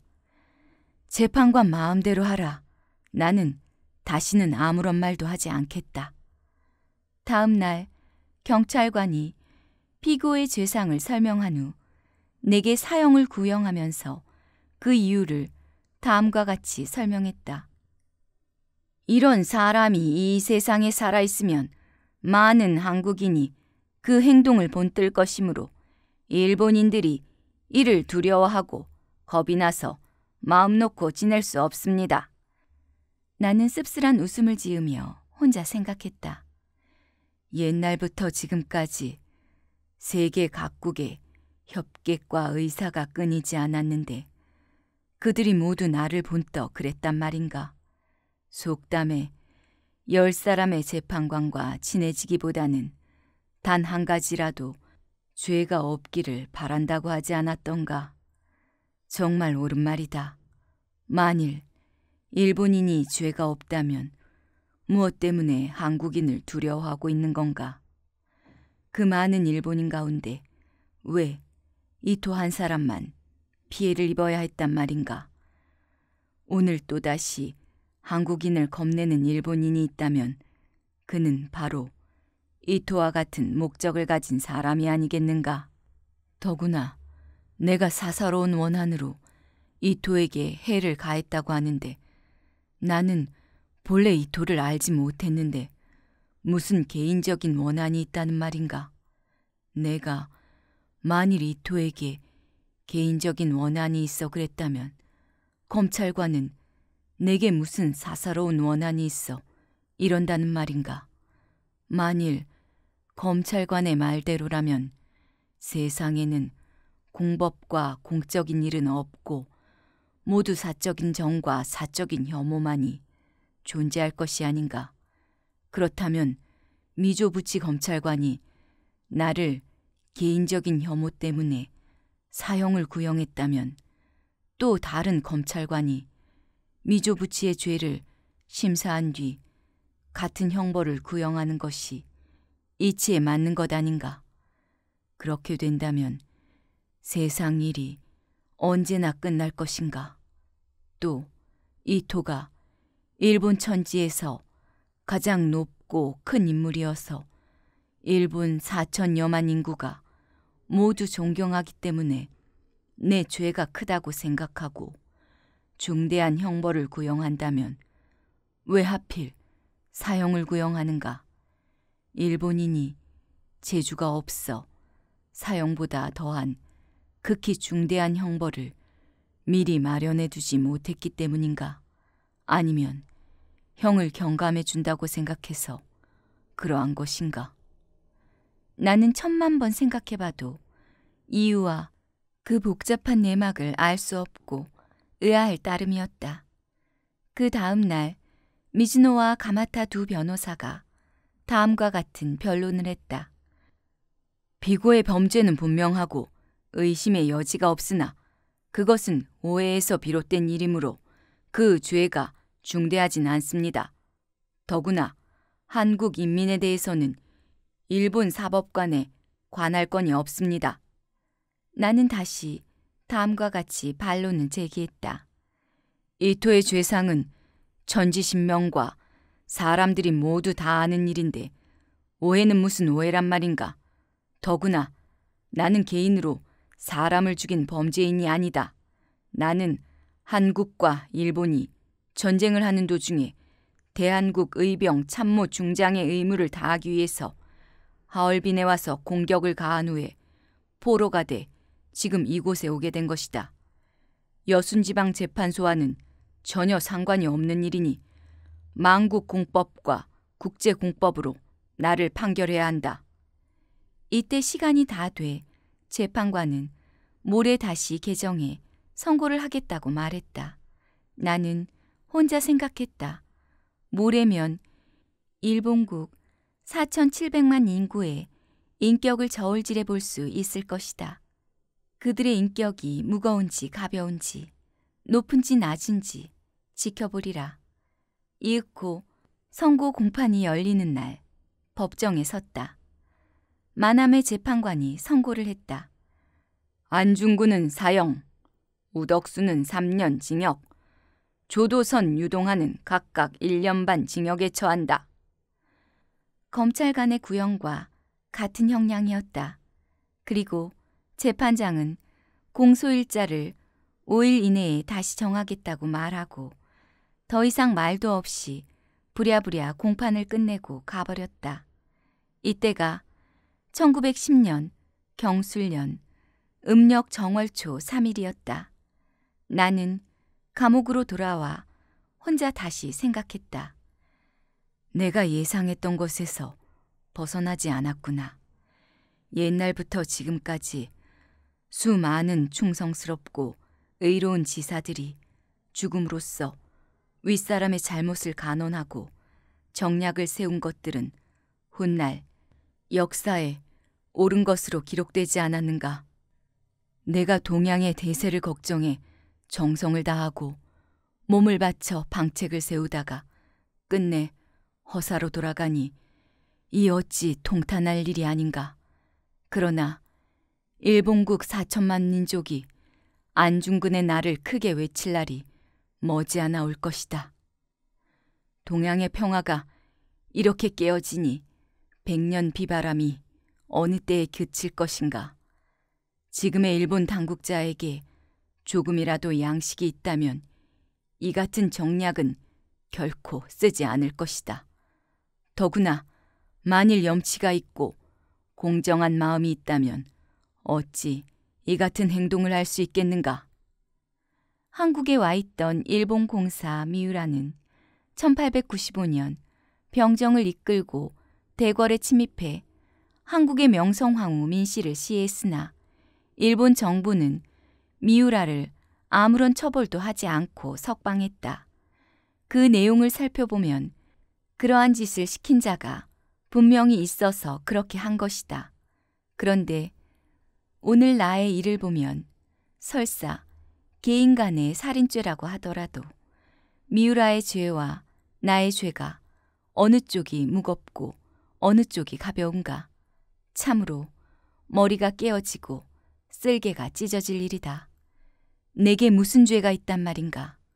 내가 무슨 잘못을 저질렀단 말인가? 천번 만번 생각하다가 문득 크게 깨달아 손뼉을 치며 크게 웃으며 혼자 말했다. 나는 정말 큰 죄인이다. 내 죄가 다른 죄가 아니라 어질고 약한 한국 국민으로 태어난 죄이다. 이렇게 생각하자 마침내 의혹이 풀리고 마음의 안정도 찾을 수 있었다. 그 뒤에 형무소장 구리하라 씨의 특별 소개로 고등법원장 히라이시 씨와 만나 이야기를 나눴다. 나는 그에게 사형 판결에 대해 불복하는 이유를 대강 설명한 후 동양 대세의 흐름과 평화 정책에 관한 내 의견을 피력했다. 그는 내 이야기를 다 듣고 난 뒤 감격하며 다음과 같이 말했다. 내가 그대를 깊이 동정하지만 정부 기관이 하는 일을 어찌 할 수 있겠소. 다만 그대가 진술하는 의견을 정부에 보고하겠소. 나는 그 말을 듣고 고마움을 표하며 요청했다. 만일 허가를 할 수 있다면 사형 집행 날짜를 한 달 남짓 늦추어 주시오. 동양 평화론이라는 책을 한 권 집필하고 싶소. 그랬더니 고등법원장이 대답했다. 어찌 한 달뿐이겠소. 설사 몇 달이 걸리더라도 특별히 허가하겠으니 걱정 마시오. 나는 그에게 감사한 마음을 전하고 돌아와서 공소권을 포기했다. 설사 항소를 한다고 해도 아무런 이익도 없을 것은 불보듯 분명한 일일 것이고 또한 고등법원장의 말이 과연 진담이라면 굳이 더 생각할 것도 없었기 때문이다. 그래서 동양 평화론을 저술하기 시작했다. 한편 그때 법원과 감옥의 관리들 내가 쓴 글을 기념으로 간직하겠다며 비단과 종이 수백 장을 사놓고 글씨를 써줄 것을 부탁했다. 일이 이렇게 되고 보니 나는 필법이 능하지도 못하면서 또 남의 웃음거리가 될 것을 생각지 못하고 매일 몇 시간씩 글씨를 썼다. 그때 천주교회 선교사 홍신부가 나의 영원한 삶과 행복을 기원하는 성사를 해주기 위해 한국으로부터 이곳까지 왔다. 홍신부를 만나니 꿈과 같고 그 기쁨을 감당할 길이 없었다. 나를 다시 만나자 홍신부는 내게 천주 교리로 훈계한 뒤에 다음 날은 고해 성사를 받아주었다. 또 그 다음 날 아침에 다시 감옥으로 와서 성제 대례 미사를 거행했다. 이때 나는 영성체 성사를 성스럽게 받음으로써 천주님의 특별한 은총을 받게 됐다. 그 감사함은 이루 말할 수 없었다. 이때는 감옥에 있던 일반 관리들이 모두 함께 참례했다. 그 다음 날 오후 2시쯤 홍신부는 다시 내게 와서 말했다. 오늘 한국으로 돌아가기에 작별하러 왔다. 홍신부와 나는 몇 시간 동안 이야기를 나눴다. 마침내 홍신부는 헤어지기 위해 내 손을 꼭 잡고 말했다. 인자하신 주님께서는 너를 버리지 않을 것이다. 반드시 걷어주실 것이니 안심하여라. 그리고 손을 들어 나를 향해 강복해 주시고 떠나니 그때가 1910년 경술년 음력 2월 초하루 오후 4시쯤이었다. 이상이 안중근의 32년 동안 역사의 줄거리다.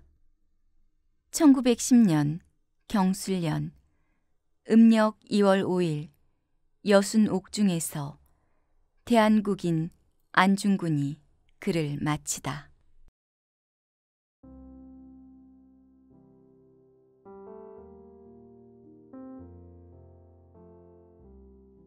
잘 들으셨나요? 지금까지 안나가 읽어주는 안흥칠의 역사 이야기였습니다. 저는 책 읽어주는 안나였습니다. 감사합니다.